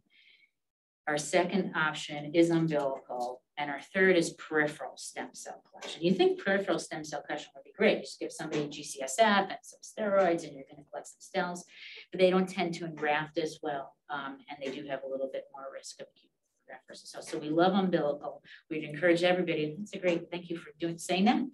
Everybody to donate their placenta. Some families ask us if they should save it for themselves. We typically say no believe it or not. Um, if you do, if you have a family member with cancer, you can obviously use the child's umbilical, your next child's umbilical, if they're not impacted or have an inherited familial predisposition syndrome, depending, so that has to be worked up um, to see if it's appropriate. Um, and some families do um, carry those genes, and so the umbilical cord is not appropriate. Um, but uh, uh, we check those before giving them to other people uh, as well. Um, but so as, and we don't recommend umbilical cord for that child um, because we really don't know if the mutation happened in the stem cells and just didn't express itself until one year of age or until five years of age. It's uh, there's a lot of unknown. Great question. Yeah. Uh, in, at the midpoint of my career, I started seeing more papillary thyroid cancers in patients that had childhood non uh, disease treated with radiation therapy. So that a small population of people that's going to go away? Because it seemed like these were kids that told that were told, oh, I, I, don't have any issues. Maybe they worried about cardiac issues, but all of a sudden they get to be 35 and 40 and they have an aggressive papillary thyroid cancer. Yeah, yeah. So thyroid, um, our secondary cancers most common are thyroid, skin, and breast. And some of that, radiation? it's due to, it was our radiation for our Hodgkins. We used a lot. I mean, we used it instead of chemo in some that we thought were lower risk. Oh, let's just give radiation. Um, and, uh, you know, they used to use radiation to treat acne. I mean, you know, I mean, you, you, your thyroid is just sitting there. Help, you know? So, um, yeah, we're reducing uh, the radiation, reducing radiation doses. Um, we're making decisions as people are responding to their Hodgkin's lymphoma uh, to determine whether they, instead of getting six courses, they'll just get four courses of chemotherapy without radiation or six courses without radiation. We almost have it as a fallback. Oh, you need radiation to prevent relapse, although you can treat relapse in Hodgkin's now too. Uh, uh, but it's much stronger therapy. Don't get me wrong, all the kids go through hell even if we don't give them radiation, you know, and even if we use umbilical cord or whatever, they all go go through a lot. Um, So it's less common now. it's gonna be, hope, well, that's our goal, right? We haven't used proton beam yet um, for the Hodgkins, you know, uh, but we are doing more immune, immune modulatory for Hodgkins. So the hope is in 20, 30 years, yes, there'll be less.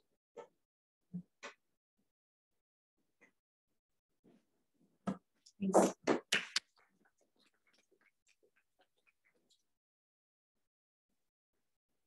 Real testament to, uh, to modern medicine, correct? When Think about the advances that have been made in uh, pediatric oncology over the last uh, 60, 70 years. Ma- Amazing, right? So now on to the general. Uh, There actually was a a revolutionary uh, uh, general who was a physician, and that was Joseph Warren of Boston.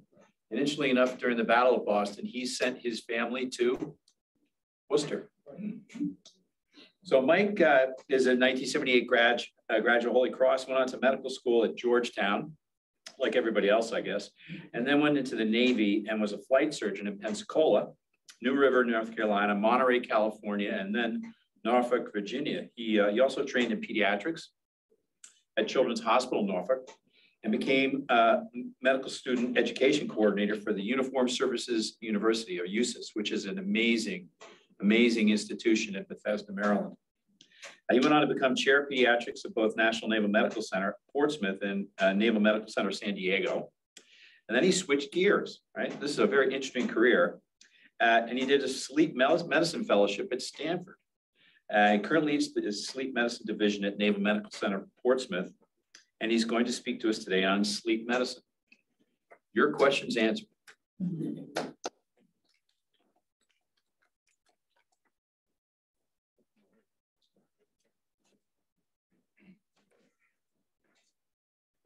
Yeah, thanks, Louis. You know, when the father talked earlier about uh, the quote from Newman about the all the changes. Yeah, I, I, I've uh, I've been through a few. So um, let's see. So uh, so sleep for Crusaders. I based uh, this talk on questions I got from people on the listserv, basically.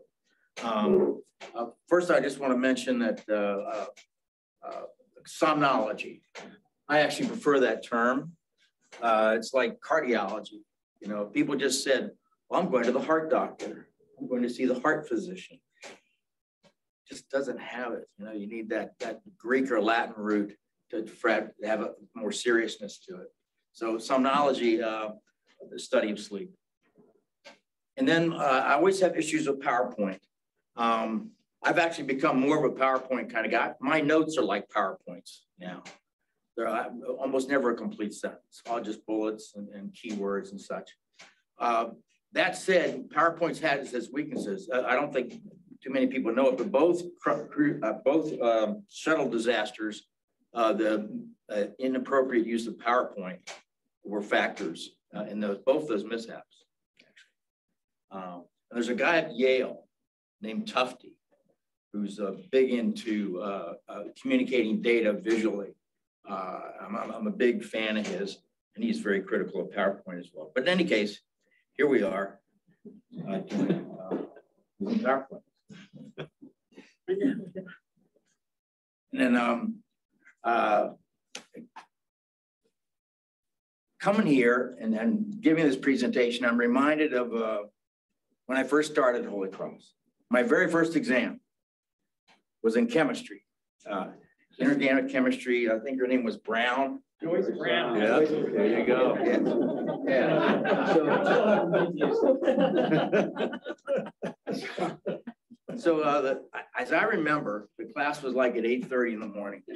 Well, I woke up at 8.30 that day of that first exam, and I just, I freaked out. Uh, uh, and I ran down. I didn't even have to put a shirt on. I just put a jacket on and some shoes on and, and, ran down. I got there like, you know, 15 minutes into the test and was just all stressed out. And I got a D. It was just not very inauspicious start, you know, and I still have a little, you know, nightmares and PTSD uh, from that. So the next one. Okay, and then one reason I, I decided to uh, throw out uh, this talk to the listserv uh, was, well, you know, I could talk about so many things, but I didn't want to get off on something too narrow in scope. And I was reminded of, of how important it is to pick the right topic. And uh, as this guy did here, our friend the beaver. so this is my version of that. So it's a little bit lighter fare than I think the other talks. I have nothing to disclose, um, sadly.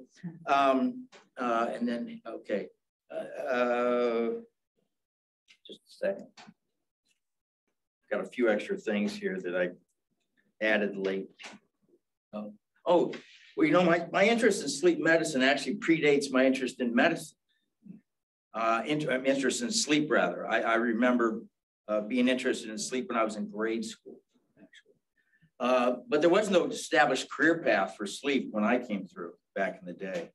It was a research item, if anything at all, uh, then. But eventually it, it, came into its own and I uh, uh, found my way home, as it were, eventually. Next one. Okay, first question. How much sleep do, how much sleep do people need? Well, they've actually done studies or made consensus statements, and the, it's thought that most people need seven or more uh, uh, per, uh, per night. That said, there's that, not quite a bell-shaped curve, but there's a distribution. There's some variation, right? But let it be said that some of these guys that say they get by with very little sleep, that there are studies to show that there's all sorts of bad things that go along with that. And I love this quote, you know, the number of people who get five hours of sleep or less without impairment expressed as a percentage of the population rounded to a whole number is zero. um, now, this talk, uh, the way I, I, should have mentioned before, the way I like to do these PowerPoint talks is in the notes page view, I put all sorts of details, references and such. So the real value of this talk is actually afterwards, if somebody wanted to look at it, it, it it's a, pretty much a standalone document, uh, unlike most PowerPoints, uh, uh, in my opinion. So I'll be sending it out to everybody. Um, so if, if, if, if we don't get to everything here, because we are running a little late, everything's in, the, in the PowerPoint. Okay. How do you know if you're getting enough sleep? These are a few questions that I routinely think of uh, when I'm when I'm thinking of whether my patient is getting enough. Assuming a typical Monday through Friday type schedule, if you answer yes to any of these questions, uh, you got to think you're either not getting enough sleep or the quality of your sleep is not what it should be. Next one. Okay. Then there's the whole aspect, and I had a few questions that related to this in some general way about, well, gee, I didn't, when I was a resident, we, you know, especially back when I came, my age group, when we came through, you often didn't sleep very much at all. And there was, there's always this attitude of, well, you know, when I was a resident, and I turned out okay.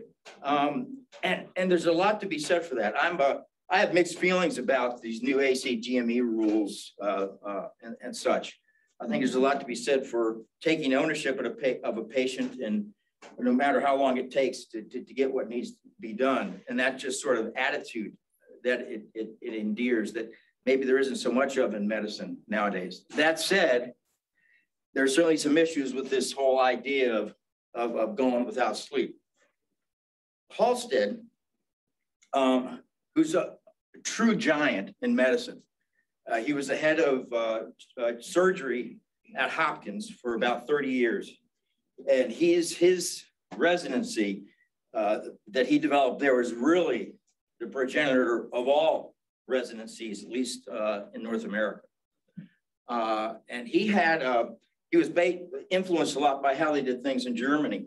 But in any case, he developed a system of a, a pyramid-like system where uh, over the course of about eight years, there was some variability in it. Um, people uh, who were uh, his staff, and that's where the word resident comes from, because his staff were residents. They lived in the hospital. They were expected to be there all the time. Uh, had this pyramid system, uh, and such that uh, over the course of 30 years, he only had 17 that completed the complete, you know, uh, two-year chief resident position.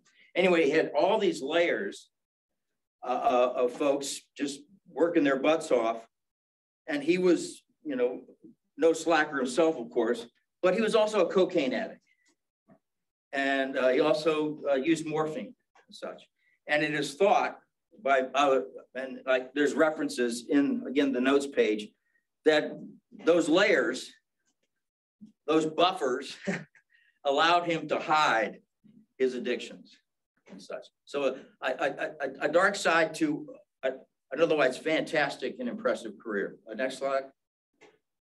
So there's this whole idea of, of chronic sleep deprivation uh, that uh, sort of ties into that in a way.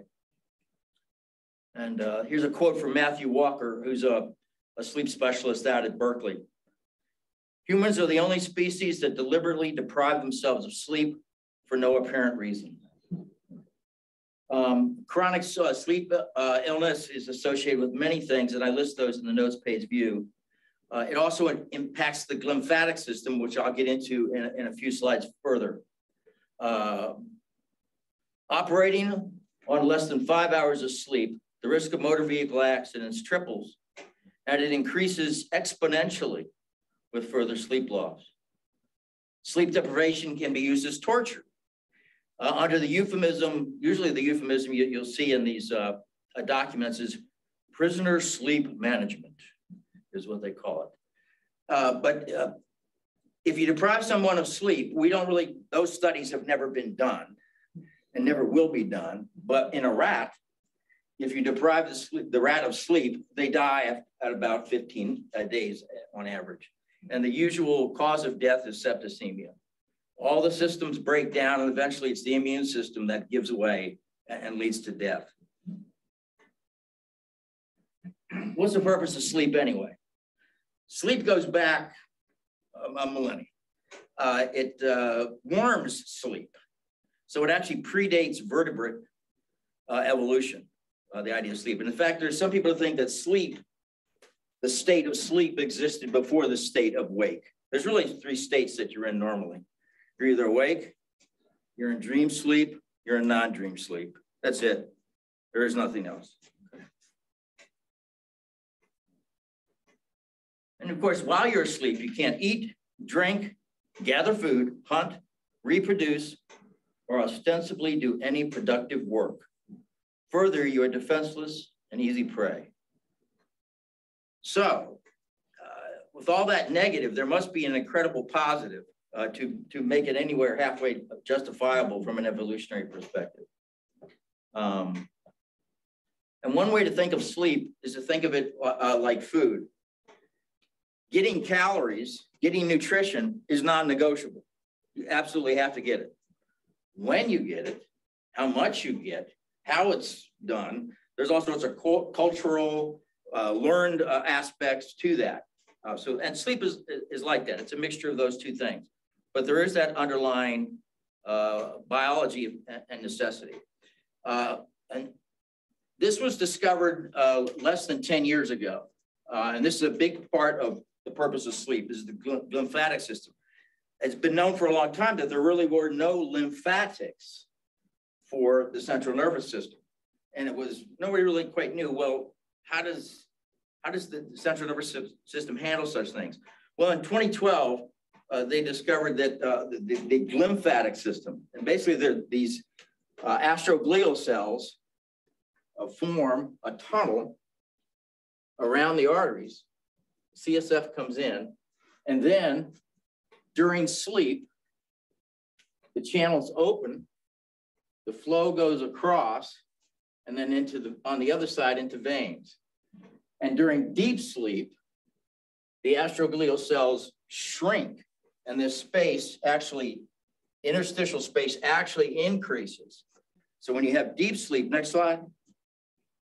So when you have deep sleep, there you go, there's my visual. That, that's not quite Marcus's level, but I have one. but when you're in deep sleep, that is N3 sleep, that's when most waste products are taken care of, including amyloid, okay?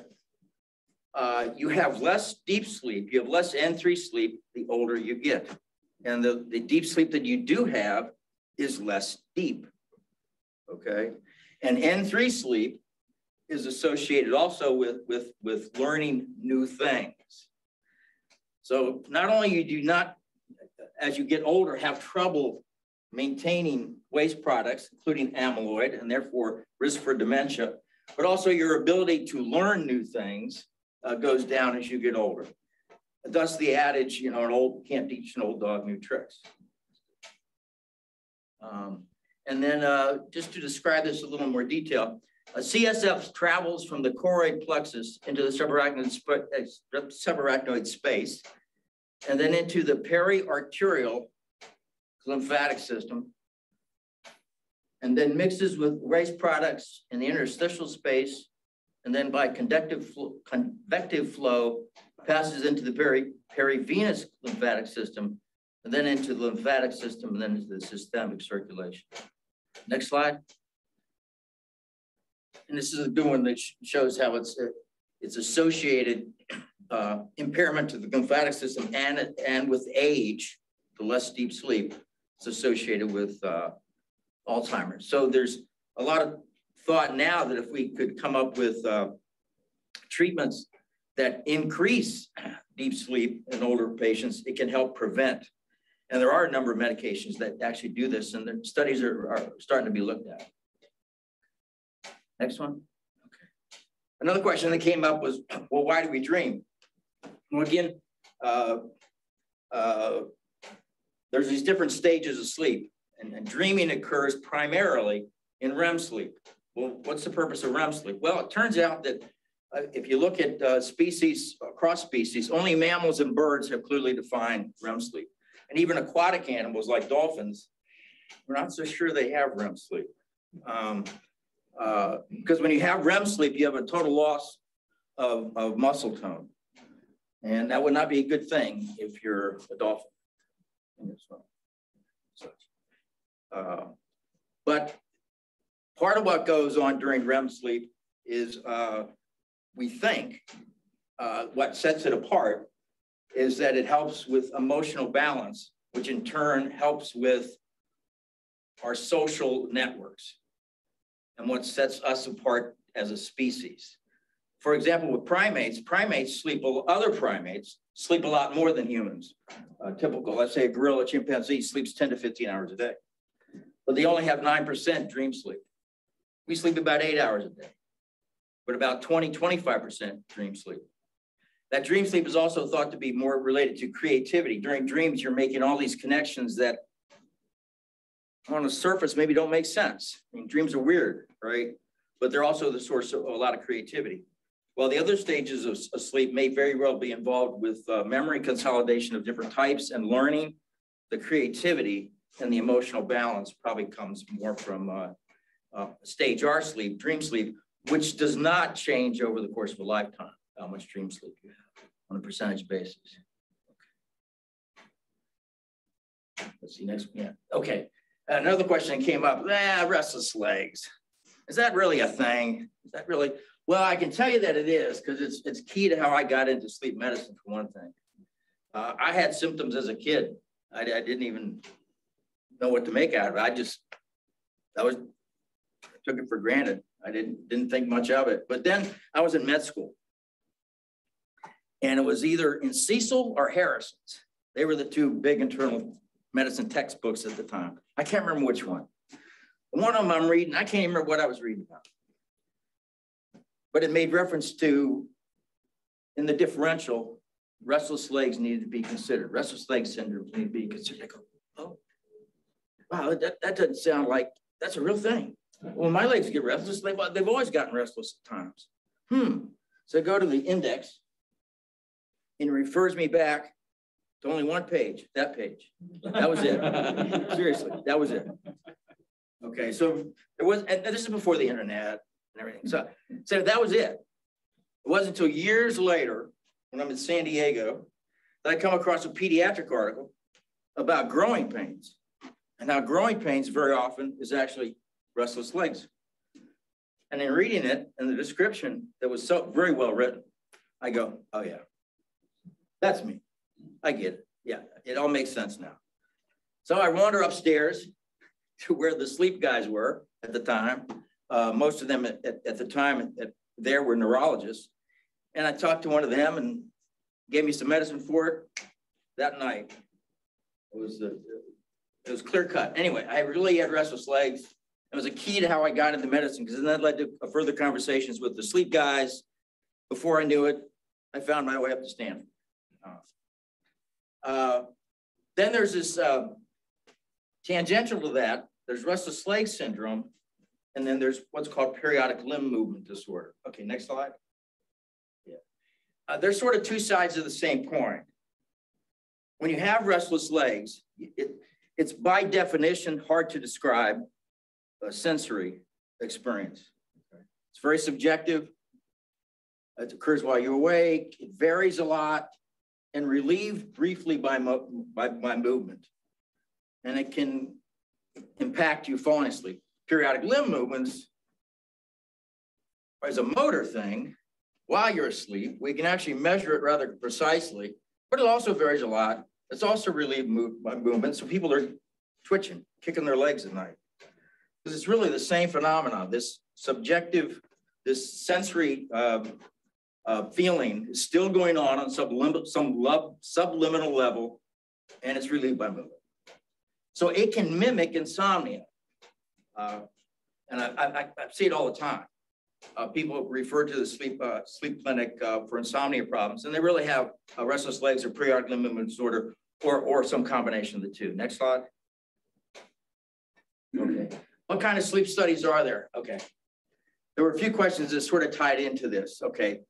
The, the big one you see, I think, a lot in the private practice world, the home sleep apnea test. We'll talk about that in a moment. And then there's the diagnostic polysomnogram, titration studies, a therapeutic polysomnogram, which is basically a variation of a titration one. And then there's the mean sleep latency sleep test. And then there's actigraphy. You don't see actigraphy much in the private sector, but we use it where I'm at. You see it uh, uh, in private practice, it loses money. It loses money. So no, almost nobody has it in private practice. But at major institutions that are involved in education or have a mission uh, uh, uh, beyond uh, uh, trying to make money, you'll, you'll, you'll see it. So anyway, we have where we are, and there, I'm going to talk about that in a minute too. next slide. So home sleep apnea test. Now, we use these all the time.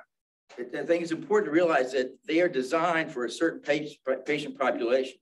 They're designed for guys my age, especially guys my age who are overweight. That's who it's designed for. It's not a good test for a 22 year old uh, who's lean and fit. It's just not a, a good test. Um, but it's used inappropriately all the time nonetheless because it's cheap and the insurance companies want things done cheap. Next slide. Uh, please interpret uh, the jargon. Okay, next slide. Okay, so this is uh, taken from a diagnostic re report of an actual patient of mine a while back. And I, this is basically how mine is presented. Now, there's no, things are not all that standardized out there uh, with sleep uh, medicine reports.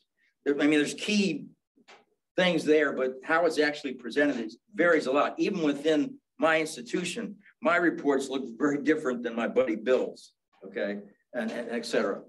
But just to go over some of the, I, I'll often describe why am I doing this test, okay? And then in the results, uh, uh, in the notes page view, I go into all these numbers and explain what the normal range is, okay? Uh, so I think if you ever wanted to have a reference to look at a sleep study, that little chunk would be very valuable to you. So the line in the sand for a sleep apnea was an apnea-hypopnea index of a five if they're symptomatic, okay? So this guy crossed the line just barely, okay? But his oxygenation, his SpO2, dipped down to 80 and it was real. Often you'll see reports where it's 80 and it's bogus and nobody bothers to, to clarify that. And I hate that, it's a pet peeve of mine.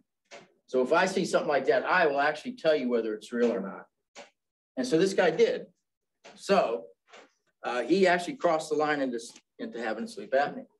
He also started dreaming a little on the early side. Now, that by itself really doesn't mean a whole lot, but it's typically closer to 90 minutes. And then he had periodic limb movements of sleep, this last paragraph. The line in the sand here is 15. The line in the sand over here is five. Okay, and this is that twitching. And we have a, a strict rule for how that's defined on a sleep study. This is just those movements in general, and these are those movements that clearly showed uh, evidence of disturbing his sleep. No, no, no doubt about it. Okay, next slide. Multiple sleep latency test, what we use for narcolepsy. It all comes down to this grid. And the key thing you're looking for is how long did it take him uh, to, uh, to fall asleep? And anything less than eight minutes is abnormal. And then did he have dream sleep of at least two? So this guy's, this study is actually consistent with narcolepsy. Next slide. Okay. Actigraphy, again, you don't see this done much in the on, on private practice, but this is normal, okay? On a sleep, on an actigraphy, all these black is movement. All these different colors are different wavelengths of light, okay? So if you want to get in the weeds, I can actually often tell you whether that light is coming from a computer screen versus a TV screen. Whether you're indoors or outdoors, fluorescent light, incandescent light. I almost never need to go there, but, there, but you can actually get into the weeds on this. So this is actually a fairly normal. Look how consistent the bedtime is. I mean, that's better than me, I tell you that. The next one. This is a delayed sleep phase. You see this all, we see this all the time I'm at.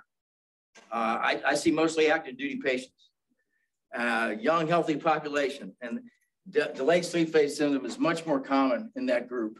And they just have this natural tendency to stay up late, which as you might imagine in the military, which has a tendency to get going early in the morning, can be a bit of a problem.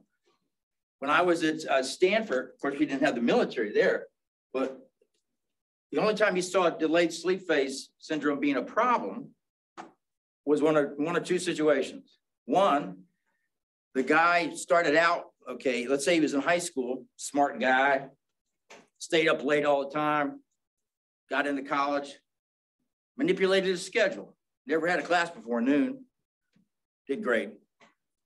Started working at Google. Most of the jobs at Google don't have strict hours.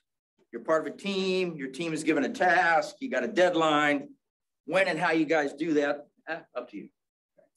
So he's doing great. Now, for whatever reason, he leaves Google. He goes to work for Bank of America. There's a different culture at Bank of America. Okay?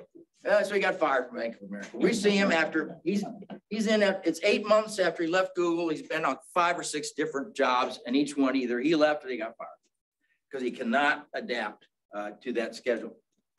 The other situation is this guy like that meets a girl.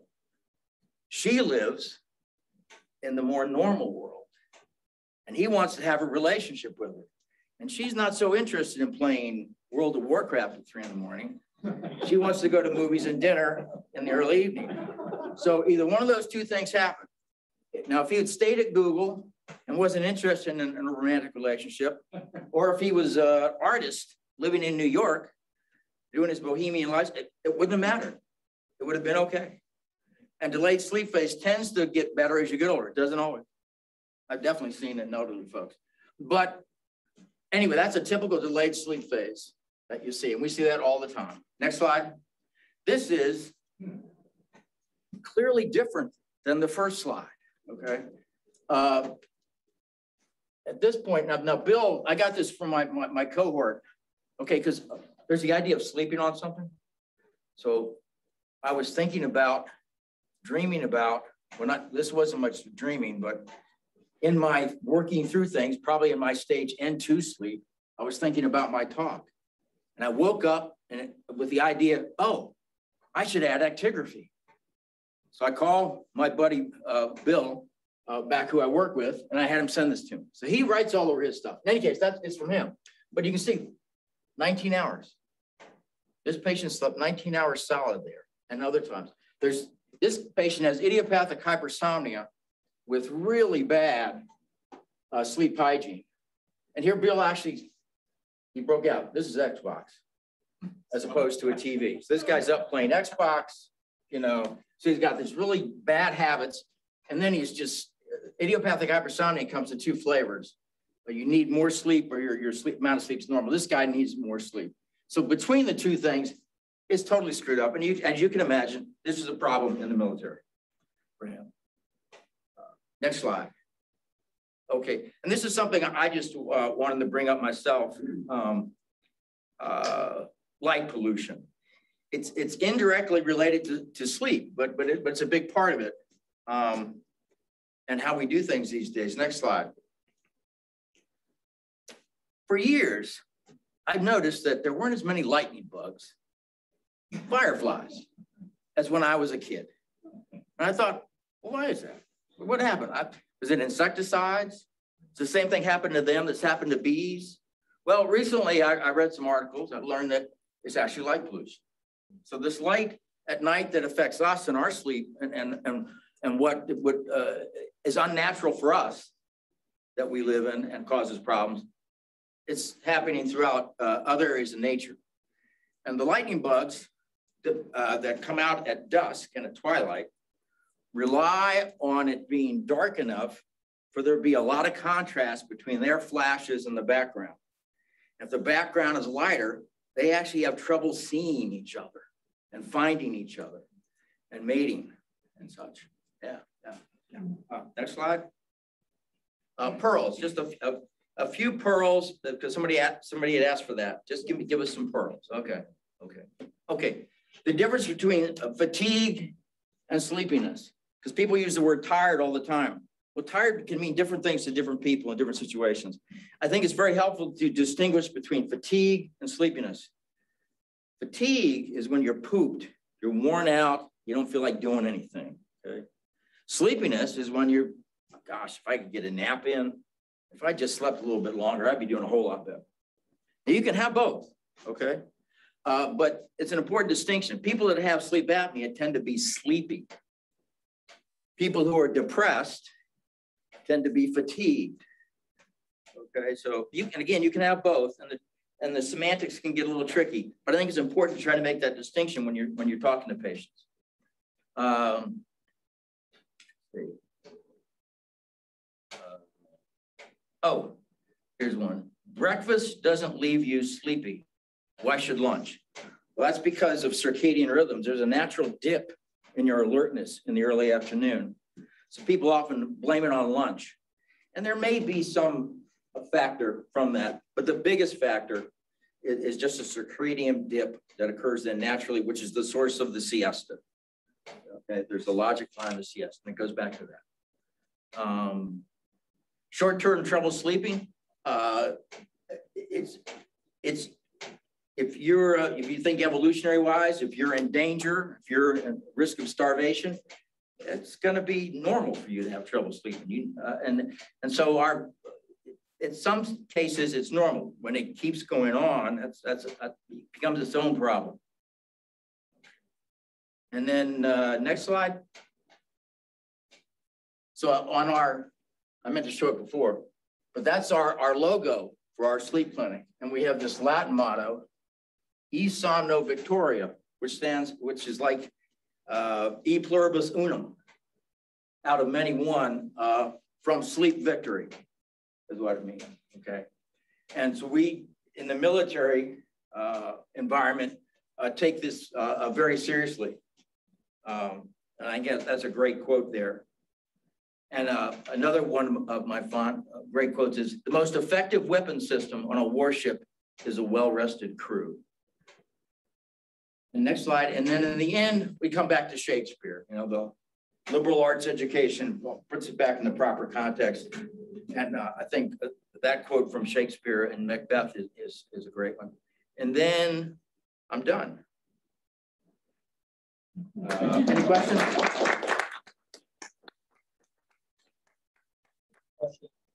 What's worse?